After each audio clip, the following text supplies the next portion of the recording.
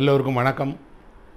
உலக இலக்கியம் குறித்த இந்த உரைகளினுடைய தொடர்ச்சியாக இன்றைக்கு நான் உங்களுக்கு அறிமுகப்படுத்தப் போகிற ஒரு எழுத்தாளர் ஆஸ்திரியாவை சேர்ந்தவர் ஜெர்மன் மொழியில் எழுதின உலகத்தினுடைய மிகச்சிறந்த இலக்கியவாதிகளில் ஒருவராக கொண்டாடப்படக்கூடிய ஸ்டீஃபன் ஜுவாக் அப்படிங்கிற எழுத்தாளரை பற்றி தான் இன்றைக்கி நான் உங்களுக்கு அறிமுகம் செய்ய போகிறேன்.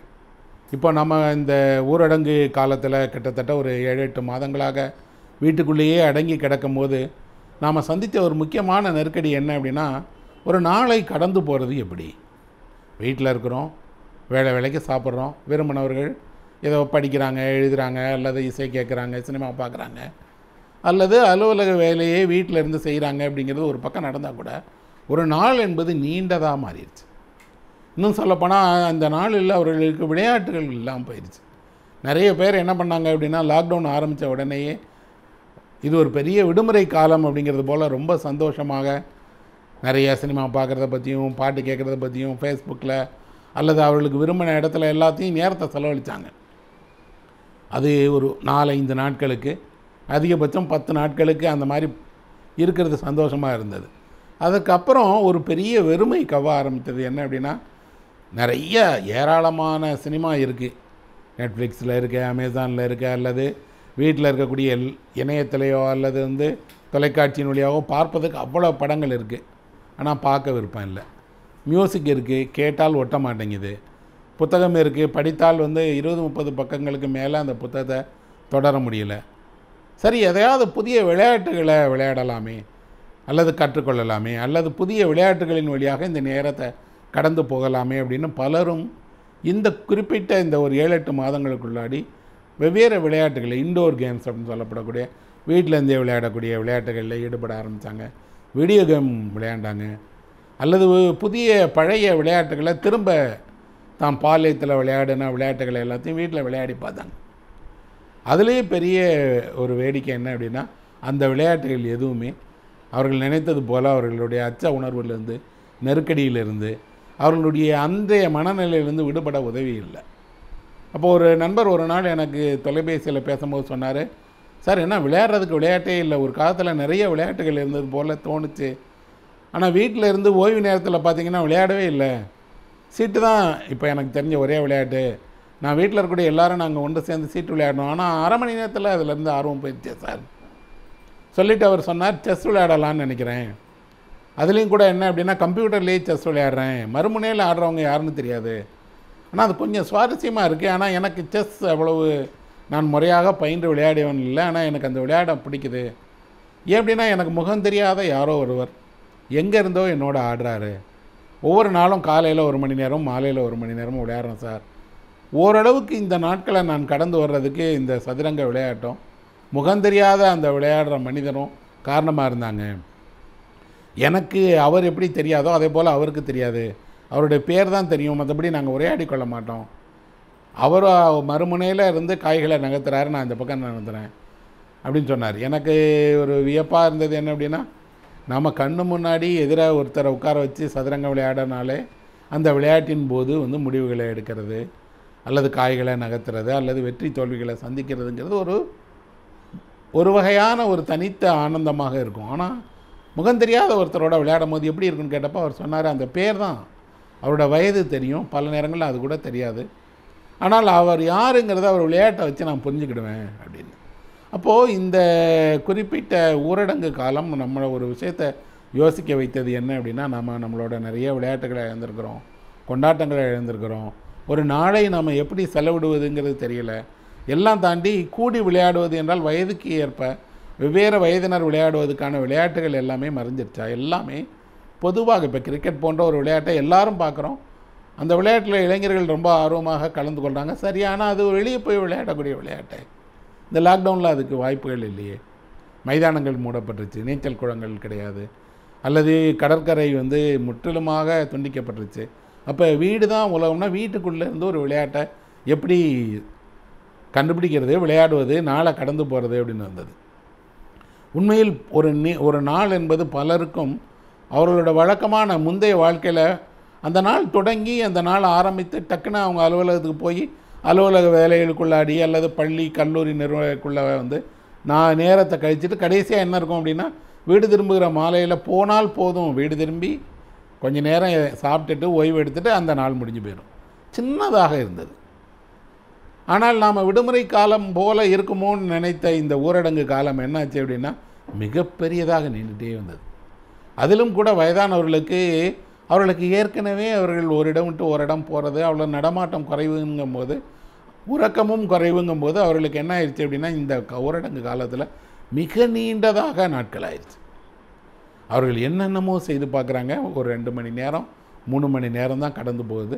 மதியம் என்பதே நீண்ட தொலைவுள்ளதாக மாறிடுச்சு. அந்த மாதிரி ஒரு நாளை மிக நீண்டதாக நாம் வேறு வேறு தருணங்களில் உணர்வோம். எப்போல்லாம் உணர்வோம் அப்படின்னு பார்த்தீங்கன்னா பொதுவாக நோயுற்ற தருணங்களில் தான் நாள் மிக நீண்டதாக மாறும். நீங்கள் எப்போவாவது ஒரு படுக்கையில் நோயாளியாக மருத்துவமனையில் இருந்தீங்கன்னா அப்போது ஒரு நாள் என்பது உங்களுக்கு மிக நீண்டது. அல்லது என்னாகும் அப்படின்னீங்கன்னா நீங்கள் எதுக்காவது ஒன்று காத்திருந்தீங்கன்னா காத்திருக்கும் போது ஒரு நாள் என்பது மிக நீண்டதாக இருக்கும். குறிப்பிட்ட ஏதோ ஒரு விஷயம் அந்த நாளைக்கு விட விடை தெரியும் அல்லது நாளைக்கு திருமணம் அல்லது நாளைக்கு ஒரு நற்செய்தி வரப்போகுது அல்லது நாளைக்கு ஒரு தீர்ப்பு வரப்போகுது அப்படின்னா அந்த முந்திய இரவு இருக்கு இல்லையா? அந்த முந்திய இரவு என்பது மிக மிக மிக மிக நீண்ட ஒரு இரவு அல்லது ஒரு நீண்ட பகல். அப்போ இந்த காத்திருப்பு தான் அல்லது நோய்மை தான் அல்லது என்ன செய்வது என்று தெரியாதது தான் ஒரு பகலை அல்லது ஒரு இரவை மிக நீண்டதாக்குகிறதுங்கிற அந்த புரிதல் இருக்கு இல்லையா? இதை தன்னுடைய இலக்கிய படைப்பின் வழியாக மிக ஆழமாக அர்த்தபூர்வமாக ரொம்ப ரொம்ப ரொம்ப ஒரு காத்திரமாக எழுதியவர் தான் ஸ்வேக். அவர் ஆஸ்திரிய மொழியில் அந்த ஆஸ்திரியாவை சேர்ந்தவர் ஜெர்மன் மொழியில் எழுதின ஒரு எழுத்தாளர். அந்த ஜெர்மன் அப்படிங்கக்கூடிய அந்த தேசத்தினுடைய அகத்தை அவருடைய சொந்த குரலை அந்த தேசத்தினுடைய ஆன்மாவை பிரதிபலித்த ஒரு எழுத்தாளராக அவரை கொண்டாடுறாங்க. அதுக்கு தகுதியானவரும் கூட தான் அவர். ஏன் அப்படின்னா ஐரோப்பா அழிந்தது என்பதற்காக தன்னுடைய சொந்த வாழ்க்கையை முடித்து கொண்ட ஒரு எழுத்தாளர் நாம் அவர் தற்கொலை பண்ணி தான் இறந்து போனார். ஏன் அவர் தற்கொலை பண்ணி இறந்து போனார்? முக்கியமான காரணம் துரத்தப்பட்டார். ஹிட்லருடைய அந்த நாசி கொடுமையால் யூதர்கள் கூட்டம் கூட்டமாக உயிர் தப்புறதுக்காக வேறு வேறு நாடுகளுக்கு ஓடி ஒழிந்தது போல இவரும் ஓடி ஒழிந்தார் இவர் லண்டனுக்கு போனார். லண்டனில் புகலிடம் தேடினார். லண்டனில் வாழ முடியாத நெருக்கடி உண்டானது. அமெரிக்காவுக்கு போனார். அமெரிக்காவில் இருந்து இன்னும் எங்கே போகிறதுன்னு தெரியல. அங்கே குடியுரிமை பிரச்சனைகளை சந்தித்தார் பிரேசிலுக்கு போனார். பிரேசிலுடைய ஏதோ ஒரு சின்ன ஊரில் அந்த தேசம் அவரை அரவணைத்து கொண்டதுனால ஓடி ஓடி ஓடி கழைத்து போய் ஒரு குறிப்பிட்ட நாளில் என்ன செய்தார் அப்படின்னா அறுபது வயதுக்கு மேலே ஒரு மனிதன் தன்னை மாற்றிக்கொள்வதெல்லாம் எளிதானதல்ல. அதிலும் கூட என் சொந்த மொழியை இழந்து சொந்த நாட்டை இழந்து உறவுகளை இழந்து லட்சக்கணக்கான மக்கள் இப்படி வந்து ஒரு ஹிட்லரால் துரத்தப்பட்டு கொல்லப்பட்ட நிகழ்ச்சிகளுக்கு சாட்சியாக இருந்த பிறகு அதுவும் ஒரு எழுத்தாளனாக மௌன சாட்சியாக இருந்த பிறகு என்ன செய்கிறதுன்னு தெரியல. என் வாழ்க்கைக்கு இனி ஒரு பெரிய அர்த்தம் இருப்பதாக தெரியல. என் வாழ்க்கையினுடைய அர்த்தமே இலக்கியம் படைப்பு எழுத்து தான் அப்படின்னா அந்த படைப்பு இலக்கியம் எழுத்து என்பதனுடைய ஒரு குறிப்பிட்ட உச்சத்தை நான் பார்த்துட்டேன். இப்போ இருப்பதெல்லாம் வெறுமனான நாட்கள். இந்த வெறுமனான நாட்கள் கடந்த காலத்தை திரும்ப திரும்ப நினைவுபடுத்திகிட்டே இருக்கு. அந்த வாழ்க்கை திரும்ப வந்துடாதா அந்த நண்பர்கள் திரும்ப கிடைச்சிட மாட்டாங்களா? அன்று இருந்தது போல் ஒரு மகிழ்ச்சியை அன்று இருந்தது போல் ஒன்று கூடுதலை? அன்று இருந்தது போல் கூடி வாழ்வதை நீ சாத்தியம் இல்லையா? அப்படிங்கிற அந்த ஏக்கம் என்னை விதைக்க ஆரம்பிச்சிருச்சு. ஒரு மனிதன் தன்னோட மொழியை இழக்கும் போது தன்னுடைய நிலத்தை இழக்கும் போது உறவுகளை இழக்கும் போது தனக்கான எல்லா அடையாளங்களையும் திறக்கும் போது அவனுடைய வாழ்க்கை மிகச் சுருங்கி போயிடுது எப்படி ஒரு நாள் மிக நீண்டதாகுதோ அப்படி வாழ்க்கை மிகச் சிறியதாகிறது. அந்த சிறிய வாழ்க்கையில் எதையோ ஒன்றை பற்றி கொண்டு நிறைய பேர் உயிர் வாழ்ந்திருக்காங்க கடந்து வந்திருக்காங்க. போதும் காலடி தெரிகிற வெளிச்சம் கிடைத்தால் போதும். கண்ணுக்கு பிரம்மாண்டமான வெளிச்சம் தேவையில்லை. ஒரு அடி எடுத்து வைப்பதற்கான சிறிய வெளிச்சம் போதும் என்ற நம்பிக்கையில் நிறைய கலைஞர்கள் உயிர் வாழ்ந்திருக்காங்க. ஆனால் ஸ்வேக் வந்து அந்த மாதிரி நினைக்கல. அவர் நண்பர்களிடமிருந்து விடைபெற்று கொண்டு பிரேசிலில் ஆயிரத்தி தொள்ளாயிரத்தி நாற்பத்தி ரெண்டில் இறந்துட்டார். தற்கொலை பண்ணி இறந்து போயிட்டார். அப்போ அவர் ஒரு தோற்று போன எழுத்தாளனா? அல்லது அந்த எழுத்தாளனுக்கு ஏன் தைரியம் இல்லையா? என்றால் இல்லை. அவர் அந்த அவருடைய அந்த கடைசி அவர் தன் வாழ்க்கை முடித்துக்கொள்வதற்கான அந்த கடைசி காலத்துக்கு முந்திய மனநிலை இருந்தது இல்லையா? அந்த மனநிலை எப்படி இருந்தது என்றால் உணவு கிடைக்கும் உறைவிடம் இருக்கும் நீங்கள் வீட்டுக்குள்ளேயே இருக்கலாம் ஒன்றே ரெண்டு நண்பர்களை சந்திக்கலாம் பேப்பர் படிக்கலாம் ரேடியோ கேட்கலாம் ஆனால் உங்களால் செயல்பட முடியாது. நீங்கள் முடக்கப்பட்டிருக்கிறீர்கள். நீங்கள் அடைத்து வைக்கப்பட்டிருக்கிறீர்கள். உங்களுடைய சுதந்திரம் என்பது பறிக்கப்பட்டிருக்கிறது என்பதை நீங்கள் உணரத் தொடங்குகிற மறுநிமிடம் என்ன ஆகும்னா உங்கள் வாழ்க்கை நெருக்கடி மிக்கதாக மாறிடும் ஊரடங்கில் அதை தானே நிறைய நாம் சந்தித்தோம் ஊரடங்கில் நாம் இப்போ உணர்ந்த முதல் விஷயமே என்ன அப்படின்னா நம் விருப்பத்தை மீறி நாம் முடக்கப்பட்டிருக்கிறோம். ஒரு நோய் நம் எல்லோரையுமே என்ன செய்தது அப்படின்னா அவரவர் இருப்பிடங்களை தவிர இந்த உலகம் பாதுகாப்பற்றது அப்படிங்கிற ஒரு உண்மையை சொல்லிடுச்சு இன்னும் சொல்லப்போனால் இந்த கொஞ்சம் கொஞ்சமாக விடுவிட்டு வரக்கூடிய இந்த சூழலிலையும் கூட நம் விருப்பத்தின்படி நாம் முந்தைய வாழ்க்கையை வாழ முடியவில்லையேங்கிற ஒரு ஏக்கம் இருக்கு இல்லையா? அந்த ஏக்கம் தான் நண்பர்களே விவேக் போன்ற ஒருத்தரை நமக்கு ரொம்ப நெருக்கமாகுது. அதை கலையாக இலக்கியமாக வெறுமனாக ஒரு தனிநபரனுடைய கடந்த கால இயக்கமாக இல்லாமல் ஒரு ஆன்மாவாக அந்த தேசத்தினுடைய குரலாக ஒலிக்க வைத்தது தான் அவரோட மிகச்சிறந்த ஒரு பங்களிப்புன்னு நான் சொல்லுவேன். அவங்க அப்பா வந்து ஒரு பெரிய டெக்ஸ்டைல் மில் வச்சுருந்தார். வசதியான ஒரு குடும்பத்தை சேர்ந்தவர். வியனாவில் படித்தார் தத்துவம் படிச்சிருக்காரு தத்துவத்தில் ஆராய்ச்சி பண்ணி டாக்டர் பட்டம் வாங்கியிருக்கிறாரு. எழுத தொடங்குகிற காலத்திலேயே அவர் பார்த்திங்கன்னா ஒரு கவிஞராகத்தான் தன்னுடைய பதினெட்டு வயதுகளில் எழுத தொடங்குறாரு. கவிதையின் மீது ஈடுபாடு கொண்டு அதுக்கப்புறம் படைப்பாளிகளை ஆழ்ந்து படித்து வரலாற்றை படித்து தன் காலத்தின் முக்கியமான படைப்பாளிகளான பால்சாக்கிலேருந்து தஸ்தாவஸ்கியிலேருந்து டால்சாயிலிருந்து பலரை பற்றியும் அவர் அழகான நூல்களை எழுதியிருக்கிறாரு. வரலாற்றை அதே போல் வரலாற்றினுடைய முக்கியமான நிகழ்வுகளை எல்லாத்தையும் தொகுத்து சின்ன சின்ன சின்ன சின்ன சிறு நூல்களாக வெளியிட்டிருக்கிறாரு. இசையில் பெரிய ஈடுபாடு. இசைக்கலைஞர்களோடு நேரடியாகவே அவர் வந்து பங்களிப்பு செய்திருக்கிறார். இசைக்கலைஞர்களை தேடி தேடி பார்த்துருக்கிறாரு. மொசாட் தன் கைப்பட எழுதிய அந்த இசை குறிப்புகளை மிகப்பெரிய விலை கொடுத்து வாங்கி பாதுகாத்து வச்சுருந்துறாரு அவருடைய சேமிப்பிலே பார்த்தீங்க அப்படின்னா உலகத்தினுடைய புகழ்பெற்ற இசைக்கலைஞர்கள் பலரோட அவர்கள் கையெழுத்திலேயே எழுதின இசைக்குறிப்புகளை வாங்கி வச்சுருந்துருக்காரு. இன்றைக்கு அதெல்லாம் பாதுகாத்து வைக்கப்பட்டு வருது. இப்படி ஒரு நல்ல இசையில் நல்ல இலக்கியத்தில் கலையின் மீது நாட்டமுடைய ஒரு மனிதன் ஆனால் தான் சொந்த நிலத்தில் ஏன் வாழ முடியாமல் போச்சு? அப்படின்னா அதுதான் நாசி கொடுமைன்னு சொல்லப்படக்கூடிய ஹிட்லரினுடைய வருகையும் ஹிட்லருடைய ஆட்சியும் ஹிட்லர் காலத்தில் யூதர்களுக்கு நடந்த மிகப்பெரிய இட படுகொலையும் தான் அதுக்கு முக்கியமான காரணம். துரத்தப்பட்டு இப்படி நாடு இழந்து ஊர் ஊராக அலைந்து கொண்டிருந்த போதத்திலையும் கூட ஸ்வேக் வந்து வெறுமனாக உயிரை காப்பாற்றி கொண்டு வாழ முற்படலை. மாறா என்ன செய்தார்? படைப்பு இலக்கியத்தின் வழியாகத்தான் தான் இந்த உலகத்தோடு தொடர்பு கொள்ள முடியும் என்று அன்றாடம் எழுதி கொண்டே இருந்தார். அவரோட அவரை பற்றி ஒரு சித்திரத்தை வந்து ஒரு கட்டுரையில் படித்தேன். என்ன அப்படின்னா புகலிட வாழ்க்கையில் அவருக்கு பெரிய வீடு கிடைக்கல. ஒரே ஒரு ஒற்றை அறை தான் கிடைக்கிது. அந்த அறையில் ஒரு சின்ன மேஜை அந்த மேஜையில் ஒரு விளக்கு நிறைய காகிதங்கள் பக்கத்தில் ஒரு பேனா ஒரு ஒரு கொஞ்சம் காலை உணவு இரவு உணவு தான் மதிய உணவு கூட இல்லாத அளவுக்கு எழுத்து வேலை. எழுதி போ போட்டுக்கிட்டே இருந்தார். ஏன் அப்படின்னா ஒரு கலைஞன் தன்னுடைய விடுதலையாக தன்னுடைய படைப்பை தான் நினைக்கிறான். தன்னுடைய எழுத்தை தான் நினைக்கிறான். தன்னுடைய அகத்திலிருந்து பீரிட்டு வரக்கூடிய அந்த உணர்ச்சிகளை சொற்களின் வழியாகத்தான் தான் காட்ட முடியும்னு நினைக்கிறான். அப்படி தான் அவர் எழுதினார். அப்படி அவர் எழுதிய படைப்புகள் எல்லாமே புனைகதையினுடைய நாவல்களாக குறுநாவல்களாக கதைகளாக அவ்வளவு அற்புதமான படைப்புகளை ஜுவேக் எழுதியிருக்கிறார்.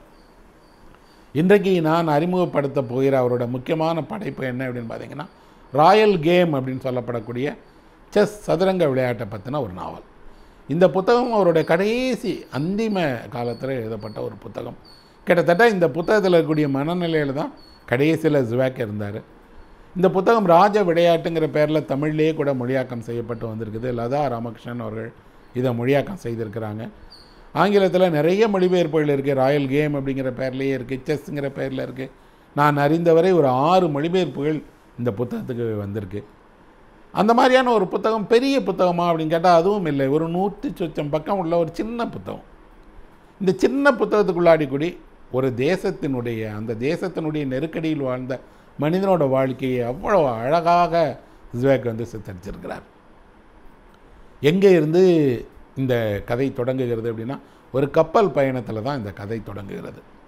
பியூனஸ் ஏர்ஸ்ன்னு சொல்லப்படக்கூடிய அர்ஜென்டினாவினுடைய தலைநகரத்துக்கு அமெரிக்காவிலேருந்து ஒரு கப்பல் பயணம் செய்து அந்த கப்பலில் வந்து ஒரு கதாபாத்திரம் அறிமுகமாகுது.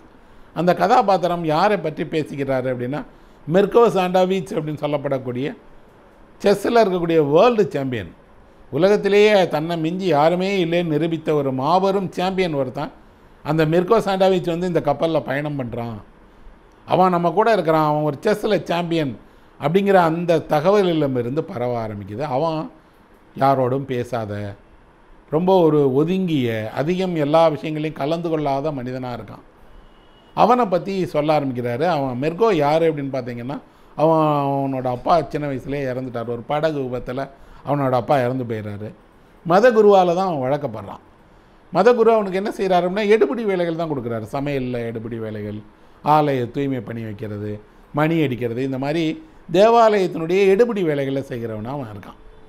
ஆனால் அந்த எடுபிடி வேலைகளிலிருந்து அவனுக்கு என்ன கிடைச்சிரும்? ஏதோ சொற்ப வருமானம் கிடைக்கிது உணவு கிடைக்கிது. அங்கேயே தங்கிக்கிறான் அவ்வளோதான் இந்த வாழ்க்கையில் அவனுக்கு இருந்த ஒரே பொழுதுபோக்கு என்ன அப்படின்னா இந்த மதகுருவும் அந்த உள்ளூரில் இருந்த காவல்துறை அதிகாரி ஒருவரும் செஸ் விளையாடுறத பார்க்கறது தான் அவர்கள் ஓய்வு நேரத்தில் என்ன செய்வாங்கன்னா ஒரு மேஜையின் முன்னாடி உட்காந்துட்டு ரெண்டு பேரும் செஸ் விளையாடுவாங்க.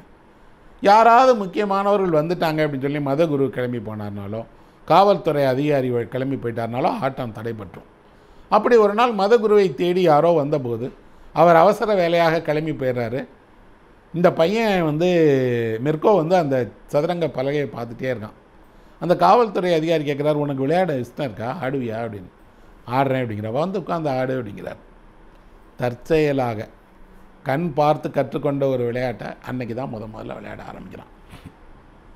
ஆனால் ஆச்சரியம் பாருங்கள் வேகமாக அந்த விளையாட்டில் அவன் ரொம்ப தேர்ச்சி பெற்று சதுரங்கத்தில் இப்படி ஒரு வீரன் இருப்பானாங்கிற அளவுக்கு அவன் வந்து வேக வேகமாக அந்த விளையாட்டினுடைய வெற்றியாளனாக மாறத் தொடங்குகிறான் இப்போ மதகுருக்கு தெரியுது நம்மகிட்ட எடுபடி வேலை செய்து கொண்டிருந்த இந்த பையனுக்குள்ளே இவ்வளவு திறமையா இவ்வளவு சிறப்பாக சதுரங்கம் ஆடுறவனா அப்படின்னு முடிவு பண்ணி அவனை கூட்டிகிட்டு போய் சலூனில் ஹேர் கட் பண்ண வச்சு புத்தாடைகள் வாங்கி கொடுத்து வேறு இடங்களில் நடக்கிற சதுரங்க போட்டியில் அவனை கலந்து கொள்ள வைத்து அவனை ஒரு சதுரங்க விளையாட்டினுடைய நாயகனாக வீரனாக உருவாக்குறார்.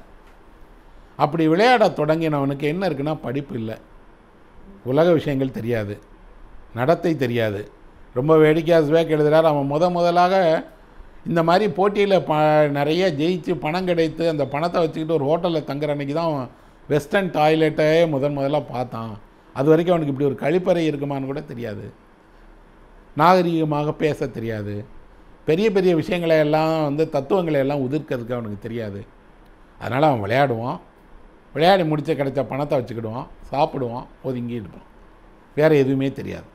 ஆனால் விளையாட்டை பொறுத்த மட்டும் அவன் வேக வேகமாக கற்றுக்கிட்டான் கற்றுக்கொண்டதோடு என்ன அப்படின்னு சொன்னால் அவனுக்கு ஒரே ஒரு பலவீனம் இருந்தது என்னன்னா அவனுக்கு கற்பனை கிடையாது. அவனுக்கு அந்த சதுரங்க பலையில் இருக்கக்கூடிய மொத்த காய்களும் இருக்கணும். எந்த காய் எங்கேருந்து நகருதுங்கிறத கண்ணால் பார்க்கணும். மனசில் அதை கற்பனை பண்ணிக்கிட்ட தெரியாது. அதனால் எப்போவும் ஒரு சின்ன செஸ் போர்டு ஒரு சின்ன மர கையடக்கமான செஸ் போர்டை ஒன்று கையில் வச்சுருப்பான். யார் விளையாடும் போதும் அந்த செஸ் போர்டில் அவன் வந்து அந்த காய்களை பார்த்துக்கிட்டு தான் விளையாடுவான். ஆனால் அவனுடைய மதிநுட்பமும் அவனுக்கு இருக்கக்கூடிய அறிவு திறனும் கற்றுக்கொள்ளும் தன்மையும் என்னாச்சு அப்படின்னா அவனை கொஞ்சம் கொஞ்சமாக பெரிய சாம்பியன் ஆகுச்சு இப்போ அமெரிக்காவுக்கு போய் அமெரிக்காவில் இருக்கக்கூடிய அத்தனை பெரிய செஸ் வீரர்களையும் அவன் ஜெயிச்சு உலகத்திலேயே மிகப்பெரிய வெல்ல முடியாத ஒரு சதுரங்க வீரனாக அவன் வந்து திரும்பி போயிட்டுருக்கான். பியூனோஸ் ஏர்ஸுக்கு வந்து அவன் வந்து பயணத்தை மேற்கொள்கிறான் இதுதான் அவனோட கதை. இந்த கப்பலில் இருந்தாலும் அவன் தன்னோட அறியாமையை தான் வந்து ஒரு பெரிய ஒரு துறையில் அவன் வந்து ஒரு மிகப்பெரிய சாதனையாளன். ஆனால் உலக விஷயங்களை பொறுத்த மட்டும் எதுவும் அறியாதவங்கிற அந்த அறியாமையை காட்டிக்கொள்ளக்கூடாதுங்கிறதுக்காகவே ஒதுங்கியிருக்கான். பெண்களோடோ விருந்துலையோ எதுவுமே அவன் பழக மாட்டான். ஏன்னா எங்கே வெளிப்பட்டுருமே? அதுதான் உலகத்தோட ஆச்சரியம் நண்பர்களே என்ன அப்படின்னு பார்த்தீங்கன்னா ஒரு துறையில் அவங்க மிகப்பெரிய ஆளாக இருப்பாங்க. ஆனால் உலக விஷயங்களை கேட்டிங்கன்னா அவங்களுக்கு ஒன்றுமே தெரியாது. வாயை திறந்து பேச ஆரம்பித்தாங்க அப்படின்னாங்கன்னா அவங்களோட எல்லா முட்டாள்தனமும் வெளிப்பட்டுரும். இதனாலேயே அவர்கள் மௌனமாக இருப்பாங்க. இதனாலேயே அறிவாளிகளைப் போல் அவர்கள் தோற்றம் தருவாங்க. இதனாலேயே ஒன்றிரண்டு வார்த்தைகளை பேசிட்டு அவ்வளோதான் அப்படின்னு சொல்லி அவர்கள் போயிடுவாங்க. மீடியாவை சந்திக்க மாட்டாங்க. பொது உரையாடல்களில் கலந்துக்கிட மாட்டாங்க. அது இன்னும் அவர்கள் அவர்களுக்கு தங்களோட பலவீனம் தெரிகிறது. அதனால் ஒதுங்கியிருக்காங்க. சரிதான். இதுக்கு நேர் மாறான ஒரு ஆட்கள் இருக்காங்க. அவர்களுக்கு எதுவும் தெரியவும் செய்யாது. அவர்கள் பெரிய சாதனை நாயகர்களும் இல்லை. ஆனால் அவர்களுடைய பேச்சை கேட்டீங்க அப்படின்னீங்கன்னா அதை சகிக்க முடியாது. அவ்வளவு பேசுவான். அவ்வளவு சொல்லுவான். தான் தான் இந்த உலகத்தில் எல்லாமும்மா. தான் படிக்காத புத்தகங்களே இல்லைம்மா. தனக்கு தெரியாத விஷயங்களே இல்லைம்மா. தான் செய்யாத சாதனையே இல்லைன்னு தன்னை பற்றியே பேசிகிட்டே இருப்பான். ஒருவன் தன்னை பற்றி பேச தொடங்குகிற போது முதல்ல அவனுடைய பலவீனம் வெளிப்பட ஆரம்பிக்குது. அதுக்கப்புறம் அவன் தன்னை பற்றி மிகையாக சொல்லும்போது பரிகாசம் பண்ணக்கூடியதாக மாறுகிறது. அப்புறம் தன்னுடைய முட்டாள்தனங்களை அவன் வெளிப்படுத்த வெளிப்படுத்த அவன் மீது மக்கள் என்ன செய்கிறாங்க அவனை பற்றி கேலி செய்ய ஆரம்பிக்கிறாங்க. இன்றைக்கெல்லாம் மீம்ஸ் போட ஆரம்பிக்கிறாங்க. இன்னும் சொல்லப்போனால் இப்படியெல்லாம் ஒருவன் கூச்சமே இல்லாமல் வந்து தன்னை பற்றி சொல்லிக்கிறானே அப்படின்னு சொல்லி எதிர்மறையான ஒரு அவனை பற்றி எண்ணங்களை உருவாக்க ஆரம்பிக்கிறாங்க. ஆனால் பலருக்கும் தன்னுடைய பலவீனங்களை அவர்களுக்கு தெரியவும் இல்லைங்கிறத தாண்டி தன்னைத்தானே அவர்கள் அப்படி நினச்சிக்கிறாங்க. அவர்களுக்கு அப்படி ஒரு கற்பனை இருக்குது தான் அந்த உலகத்தில் ரொம்ப ரொம்ப பெரிய ஆள் ரொம்ப விசேஷமான ஆளுன்னு. நம்ம கதையில் வரக்கூடிய மிருகம் அப்படிப்பட்டவன் இல்லை அவன் வேர்ல்டில் பெரிய சாம்பியன் தான். ஆனால் அவன் ஒதுங்கி இருக்கக்கூடியவன். அவனை எதையாவது ஒரு விஷயம் வைத்து அவனை வந்து வசீகரிக்கணும்னா பணம் தான் அது உண்மைதான் நண்பர்களே. ஏன்னா நீங்கள் இளமையில் அல்லது உங்களுடைய கடந்த காலத்தில் எவ்வளோ கஷ்டப்படுறீங்களோ அவ்வளோக்கு அவ்வளோ பணம் தேடுறதில்ல நாட்டமுடையவராக இருப்பீங்க. ஏன் அப்படின்னா இந்த பணம் இல்லை என்பதற்காக நீங்கள் அவமானத்தை சந்திச்சிருக்கீங்க. துரத்தப்பட்டிருக்கீங்க. உறவுகளால் விமர்சிக்கப்பட்டிருக்கீங்க. உறவுகளால் நிராகரிக்கப்பட்டிருக்கீங்க அப்படின்னா அந்த பணம் தான் இவ்வளவு செய்தனா நான் அந்த பணத்தை ஜெயிப்பேன் அப்படின்னு. அப்படி அந்த பணத்தை ஜெயிக்க முற்படக்கூடிய மனுஷனாக தான் மிருகவும் இருக்கான். இந்த கப்பலில் வரக்கூடிய ஒருவர் என்ன செய்கிறாருன்னா இரநூத்தம்பது டாலர் ஒன் கூட கொடுக்குறேன் ஒரு விளையாட்டு என் கூட விளையாடுவான்னு கேட்குறாரு சும்மா தானே இருக்கும் கப்பலில் பணம் கிடைக்குதுன்னா ஏன் விளையாடக்கூடாதுன்னு மிருகம் ஒத்துக்கிறான். அவ அந்த ரெண்டு பேருக்குமான ஒரு பந்தய விளையாட்டு வந்து அந்த கப்பல்லையே நடக்குது.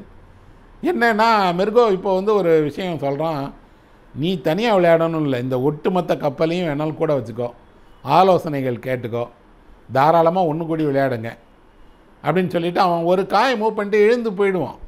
தனியாக போய் நின்றுக்கிடுவான் எல்லாரும் கூடி ஆலோசனை பண்ணி அடுத்த காயை நேரத்தின உடனே திருப்பி வருவான் மூவ் பண்ணுவான். இவ்வளவு தூரம் எல்லாரும் ஒட்டுமொத்தமாக ஒருவன் அவனுக்கு எதிராக கப்பலில் கூடிய எல்லாரும் ஒன்று சேர்ந்திருந்தாலும் அவனை ஜெயிக்க முடியாது. அந்த விளையாட்டின் போது திடீர்னு ஒரு குரல் கேட்குது ஐயோ இந்த காயை நகர்த்திடாதீங்க இந்த காயை நகர்த்துனீங்க அப்படின்னா அவன் எந்த காயை நகர்த்துவோம்? அப்படி காயை நகர்த்தினா இந்த விளையாட்டு எந்த திசையை நோக்கி போகும்னு ஒருவர் கட கட கட கட கடன்னு இந்த சதுரங்க விளையாட்டில் அடுத்தடுத்து என்ன நடக்குங்கிறத சொல்ல ஆரம்பிக்கிறார். யார் அது? கூட்டத்துக்குள்ளேருந்து இப்படி ஒருத்தர் சொல்கிறாரே அப்படின்னு சொல்லி இந்த விளையாடுகிறவன் திரும்பி பார்த்தா டாக்டர் பி அப்படின்னு சொல்லப்படக்கூடிய ஒரு வழக்கறிஞர் அவர். ஒரு காலத்தில் அவர் என்ன பண்ணியிருக்காரு அப்படின்னா அரச குடும்பங்களுக்கு தேவாலயங்களுக்கு நெருக்கமானவராக இருந்திருக்காரு ஆலோசகராக இருந்திருக்காரு சட்ட வல்லுநராக பணியாற்றியிருக்காரு. அவர் தான் இந்த கூட்டத்தில் இருந்து இப்படி ஒரு குரலை ஒலித்தவர் உடனே அவரோட வழிகாட்டுதலின் கீழாக இந்த மனிதன் மிர்கோவோட ஒரு அந்த சதுரங்க போட்டியை விளையாடி அன்னைக்கு ட்ரா பண்ணிடுறான். இப்போது மிர்கோவுக்கு ஒரு கேள்வி எழுது என்னென்னா யாரோ ஒருத்தன் கூட்டத்தில் இருந்து பேசி தான் விளையாடுகிற விளையாட்டை சரியாக முன்னாடியே உணர்ந்து அடுத்தடுத்த காய்களை நகர்த்தி ஜெயிக்கிறான்னா அவன் சாதாரண ஆளாக இருக்க முடியாது. அவன் சதுரங்க விளையாட்டில் மிகப்பெரிய தேர்ச்சி இல்லாமல் ஒரு வேர்ல்டு சாம்பியனை எதிர்த்து விளையாடி இப்படி ட்ரா பண்ண முடியாது. அதனால் இன்னொரு விளையாட்டை விளையாடலாம் அப்படின்னு அழைப்பு விடுகிறான். மறுநாள் என்ன ஆகுது அப்படின்னா இன்னொரு விளையாட்டு அதே கப்பலில் விளையாடலாம் அப்படின்னு முடிவு பண்ணுறாங்க இப்போ யார் யாருக்கு நடக்க போகுது அப்படின்னா மிர்கோவுக்கும் டாக்டர் பிக்கும் நடுவில். டாக்டர் பிஏ எல்லாரும் சேர்ந்து சொல்கிறாங்க உங்களை அவன் போட்டியாளராக நினைக்கிறான். நீங்கள் விளையாடலாமே ரெண்டு பேரும் ஒன்று சேர்ந்து ஒரு மேட்ச் ஆடுங்களேன் அப்படின்னு. பி சொல்கிறார் ஐயோ சதுரங்க போட்டியெல்லாம் விளையாடி ரொம்ப நாள் ஆச்சுங்க நான் இருபது இருபத்தஞ்சி வருஷமாக விளையாட்டே விட்டு விலகிட்டேன். என்னால் எல்லாம் விளையாட முடியாது. நான் தோற்று போயிடுவேன். வேணாங்க அப்படிங்கிறான் ஆனால் எல்லாரும் நினைக்கிறாங்க என்னென்னா இருபது இருபத்தஞ்சி வருஷம் விளையாட்டை விட்டு ஒதுங்கின ஒருத்தன் இவ்வளவு துல்லியமாக அடுத்தடுத்து என்னென்ன காய்கள் நகரும் நகர்ந்தால் ஒரு சதுரங்க ஆட்டம் எப்படி போகுங்கிறத சொல்ல முடியுமா என்ன? இவர் தேவையில்லாமல் எதற்கோ வந்து யோசிக்கிறார் நினச்சி வற்புறுத்தி ஒத்துக்கூட வைத்து விளையாட்டுக்கு சம்மதிக்க வைக்கிறாங்க. இப்போ சம்மதிக்க வைக்கும்போது எப்படி டாக்டர் பி சதுரங்க விளையாட்டுக்குள்ளே வந்தார் அப்படிங்கிற அவரோட கடந்த காலத்தை இஸ்வாக் விவரிக்க ஆரம்பிக்கிறார். முன்னாடியே நான் சொன்னது போல் ஒரு அரச குடும்பத்துக்கு நெருக்கமாக இருந்தவர் தேவாலயத்துக்கு நெருக்கமாக இருந்தது. அவருடைய வருவாயை எல்லாத்துக்கும் ஆலோசனை சொல்லக்கூடிய சட்ட ஆலோசகராக இருந்தார் இல்லையா? அதனால் அரச குடும்பங்களோட நெருக்கமாக இருந்தார். மத குருமாக்களோட நெருக்கமாக இருந்தார். ஹிட்லர் உரு தன்னோட தேசத்தில் எழுச்சி கொள்ள ஆரம்பிக்கும் போது என்ன நடந்தது அப்படின்னா அரச குடும்பங்களுடைய சொத்துக்களை தேவாலயத்தினுடைய சொத்துக்களை அபகரிக்க முயற்சி பண்ணான். எங்கெல்லாம் சொத்து இருக்குது எவ்வளோ பணம் வைத்திருக்காங்க எவ்வளோ வைர வைடூரியங்கள் வச்சுருக்கிறாங்க அவர்களுடைய இருப்பு என்னங்கிறத எல்லாத்தையும் தெரிந்து அதை எல்லாவற்றையும் தனதாக்கி கொள்ள ஹிட்லர் முயன்றான். இந்த முயற்சியில் அவனுக்கு யாரோ சொன்னாங்க டாக்டர் பி போன்றவர்கள் தான் வழிகாட்டுறாங்கன்னு. அதுபோல் டாக்டர் பிக்கு தான் இவர்களுடைய தேவாலய அரச குடும்பங்களுடைய ரகசியங்கள் தெரியும். எங்கே எப்படி வச்சுருக்காங்கன்னு. ஒரு நாள் காலையில் ஹிட்லருடைய இராணுவம் இவரை கைது செய்து இவர் மீது விசாரணை நடத்தி இவரை கொண்டு போய் ஜெயிலில் போடுறாங்க.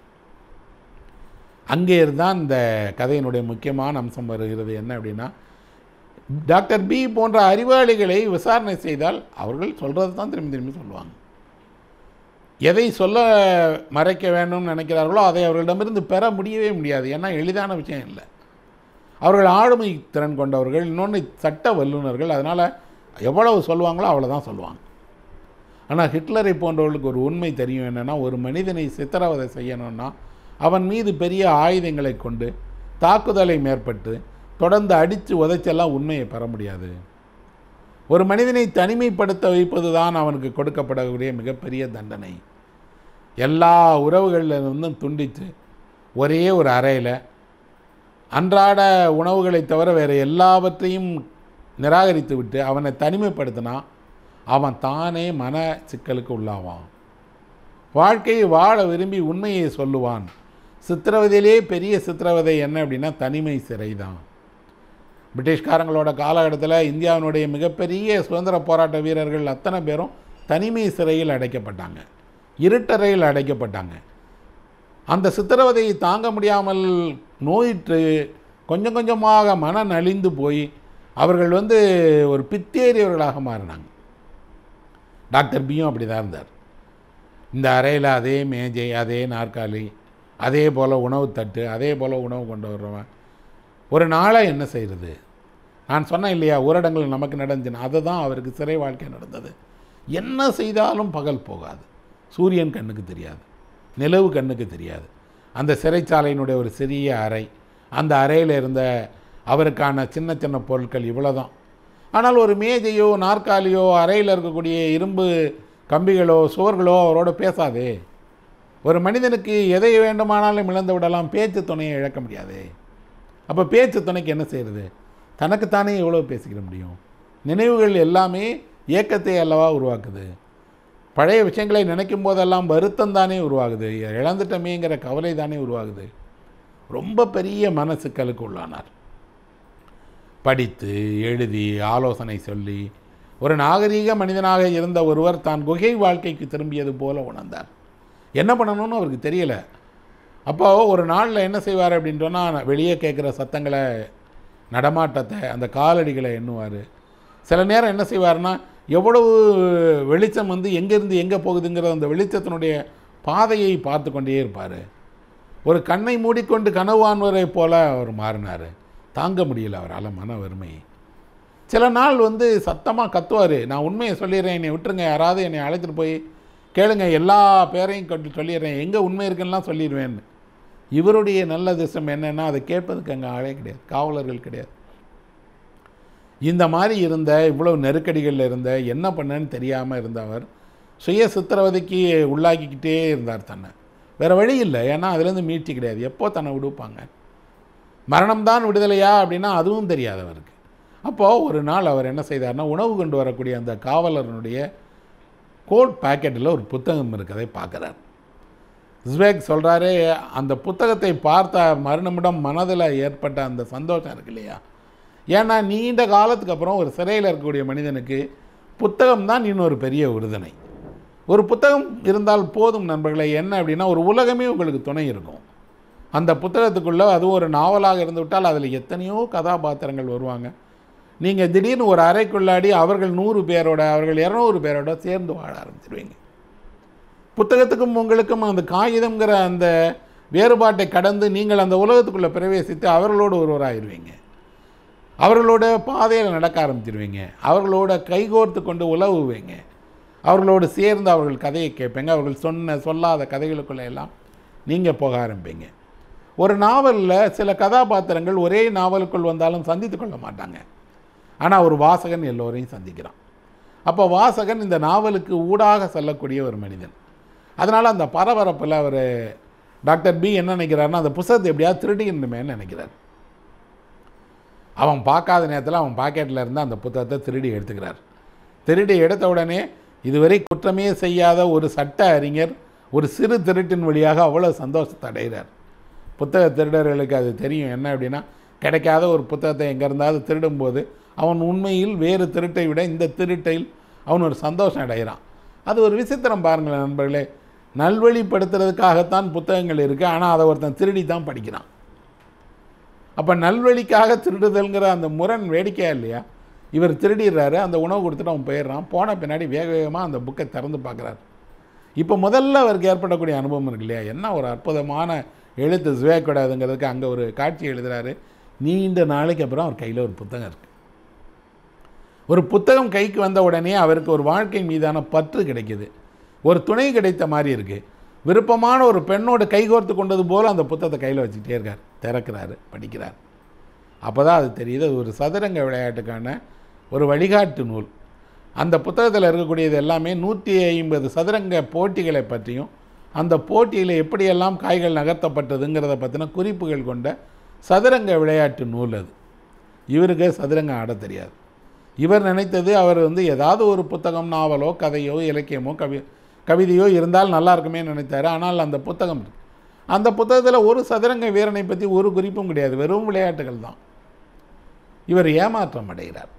அதுவும் ஒரு முக்கியமான விஷயம் நண்பர்களே. என்ன அப்படின்னா நீங்கள் ஒரு புத்தகத்தை திறந்து அந்த புத்தகம் உங்களை நெருக்கம் கொள்ளலை ஏமாற்றம் அடைந்தீர்கள் என்றால் புத்தகத்தை விட்டு வெளியே போயிடுவீங்க. அந்த வடு இருக்கு இல்லையா? அந்த துரத்தல் இருக்கு இல்லையா? அது கொஞ்ச காலத்துக்கு உங்களை புத்தகத்தை நெருங்கக்கூடாது. அதனால தான் விருப்பமான புத்தகத்தின் வழியாக நீங்கள் உங்களை அறிமுகப்படுத்தி கொள்ளுங்கள்னு சொல்கிறோம் இவருக்கு எரிச்சலாயிருது. இந்த தனிமை சிறையில் எங்கேருந்து போய் செஸ் விளையாடுறது? எல்லாம் தவிர செஸ் விளையாடுறதுக்கு இன்னொரு ஒரு துணை வேணும். இருவர் இல்லாமல் அதை விளையாட முடியாது. இங்கே எனக்கு ஆளே இல்லைங்கிற இங்கே போய் நான் எப்படி இன்னொருத்தரை வச்சு விளையாடுறது? எல்லாம் தாண்டி அதில் இருக்கக்கூடியது எல்லாம் என்ன அப்படின்னா பி டூ சி டூ எண்களாக இருக்குது கணித குறியீடுகளாக இருக்குது இந்த கணித குறியீடுகளை படித்தா ஒன்றுமே புரியாது. இதை வச்சுட்டு எப்படி விளையாடுறது? ஏமாற்றம் அடைகிறார். என்ன செய்யன்னு தெரியல.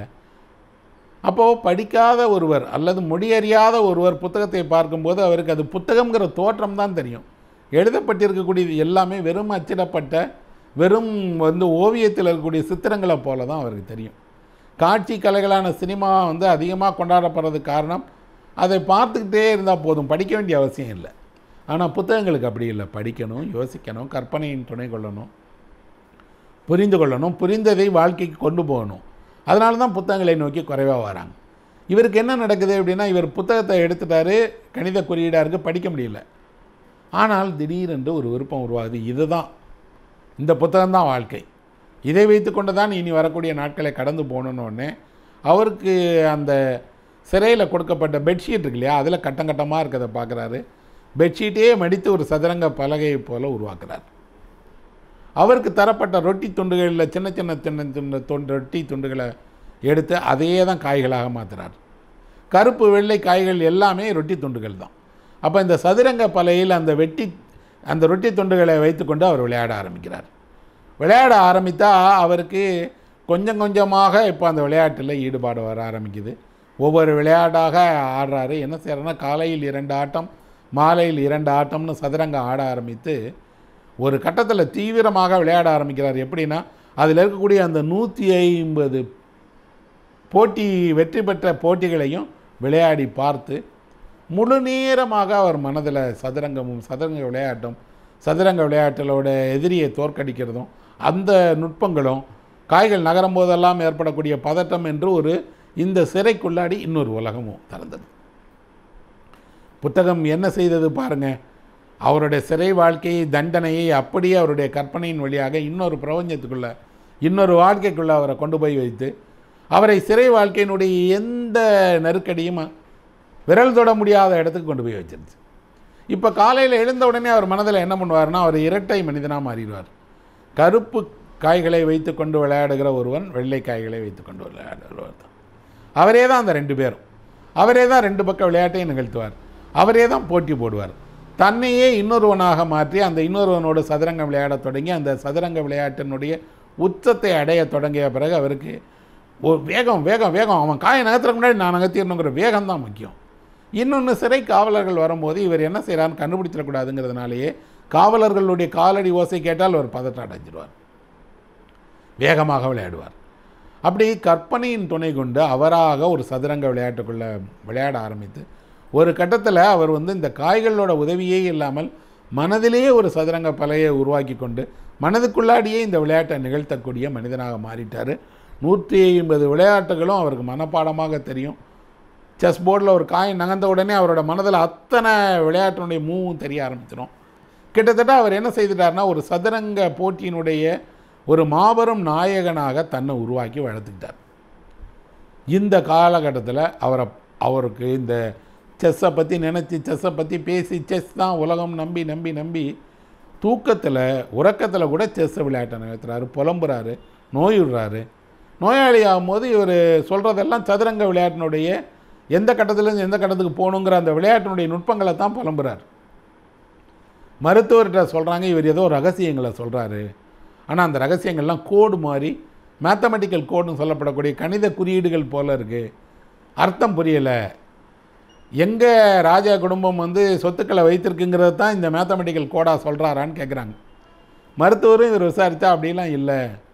இது வெறும் எண்கள் என்று அந்த தான் மனதில் சதுரங்கம் ஆடுறதை மருத்துவர்கிட்டையும் சொல்லலை. இப்படி விளையாடி இப்படி சதுரங்க போட்டியை கற்றுக்கொண்டு இப்படி சிறை வாழ்க்கைக்கு அஞ்சு சிறை வாழ்க்கையிலேருந்து விடுதலை பெறணுங்கிறதுக்காக சதுரங்க போட்டியினுடைய ஒரு வெற்றியாளனாக மாறியவர் தான் டாக்டர் பி. அப்போது பிக்கு நடக்கிறதும் அல்லது மெர்கோக்கு நடக்கிறதும் பாருங்கள் ஒரு விளையாட்டு தான். ஆனால் இரண்டு ஆளுமைகள் உருவாக்கப்படுறாங்க. ஒரு ஆளுமை வறுமையில் கஷ்டப்பட்டு உருவாகி இந்த விளையாட்டின் வழியாக தன்னை உலகத்தினுடைய மிகப்பெரிய ஆளாக உருவாக்கின ஒருத்தன்.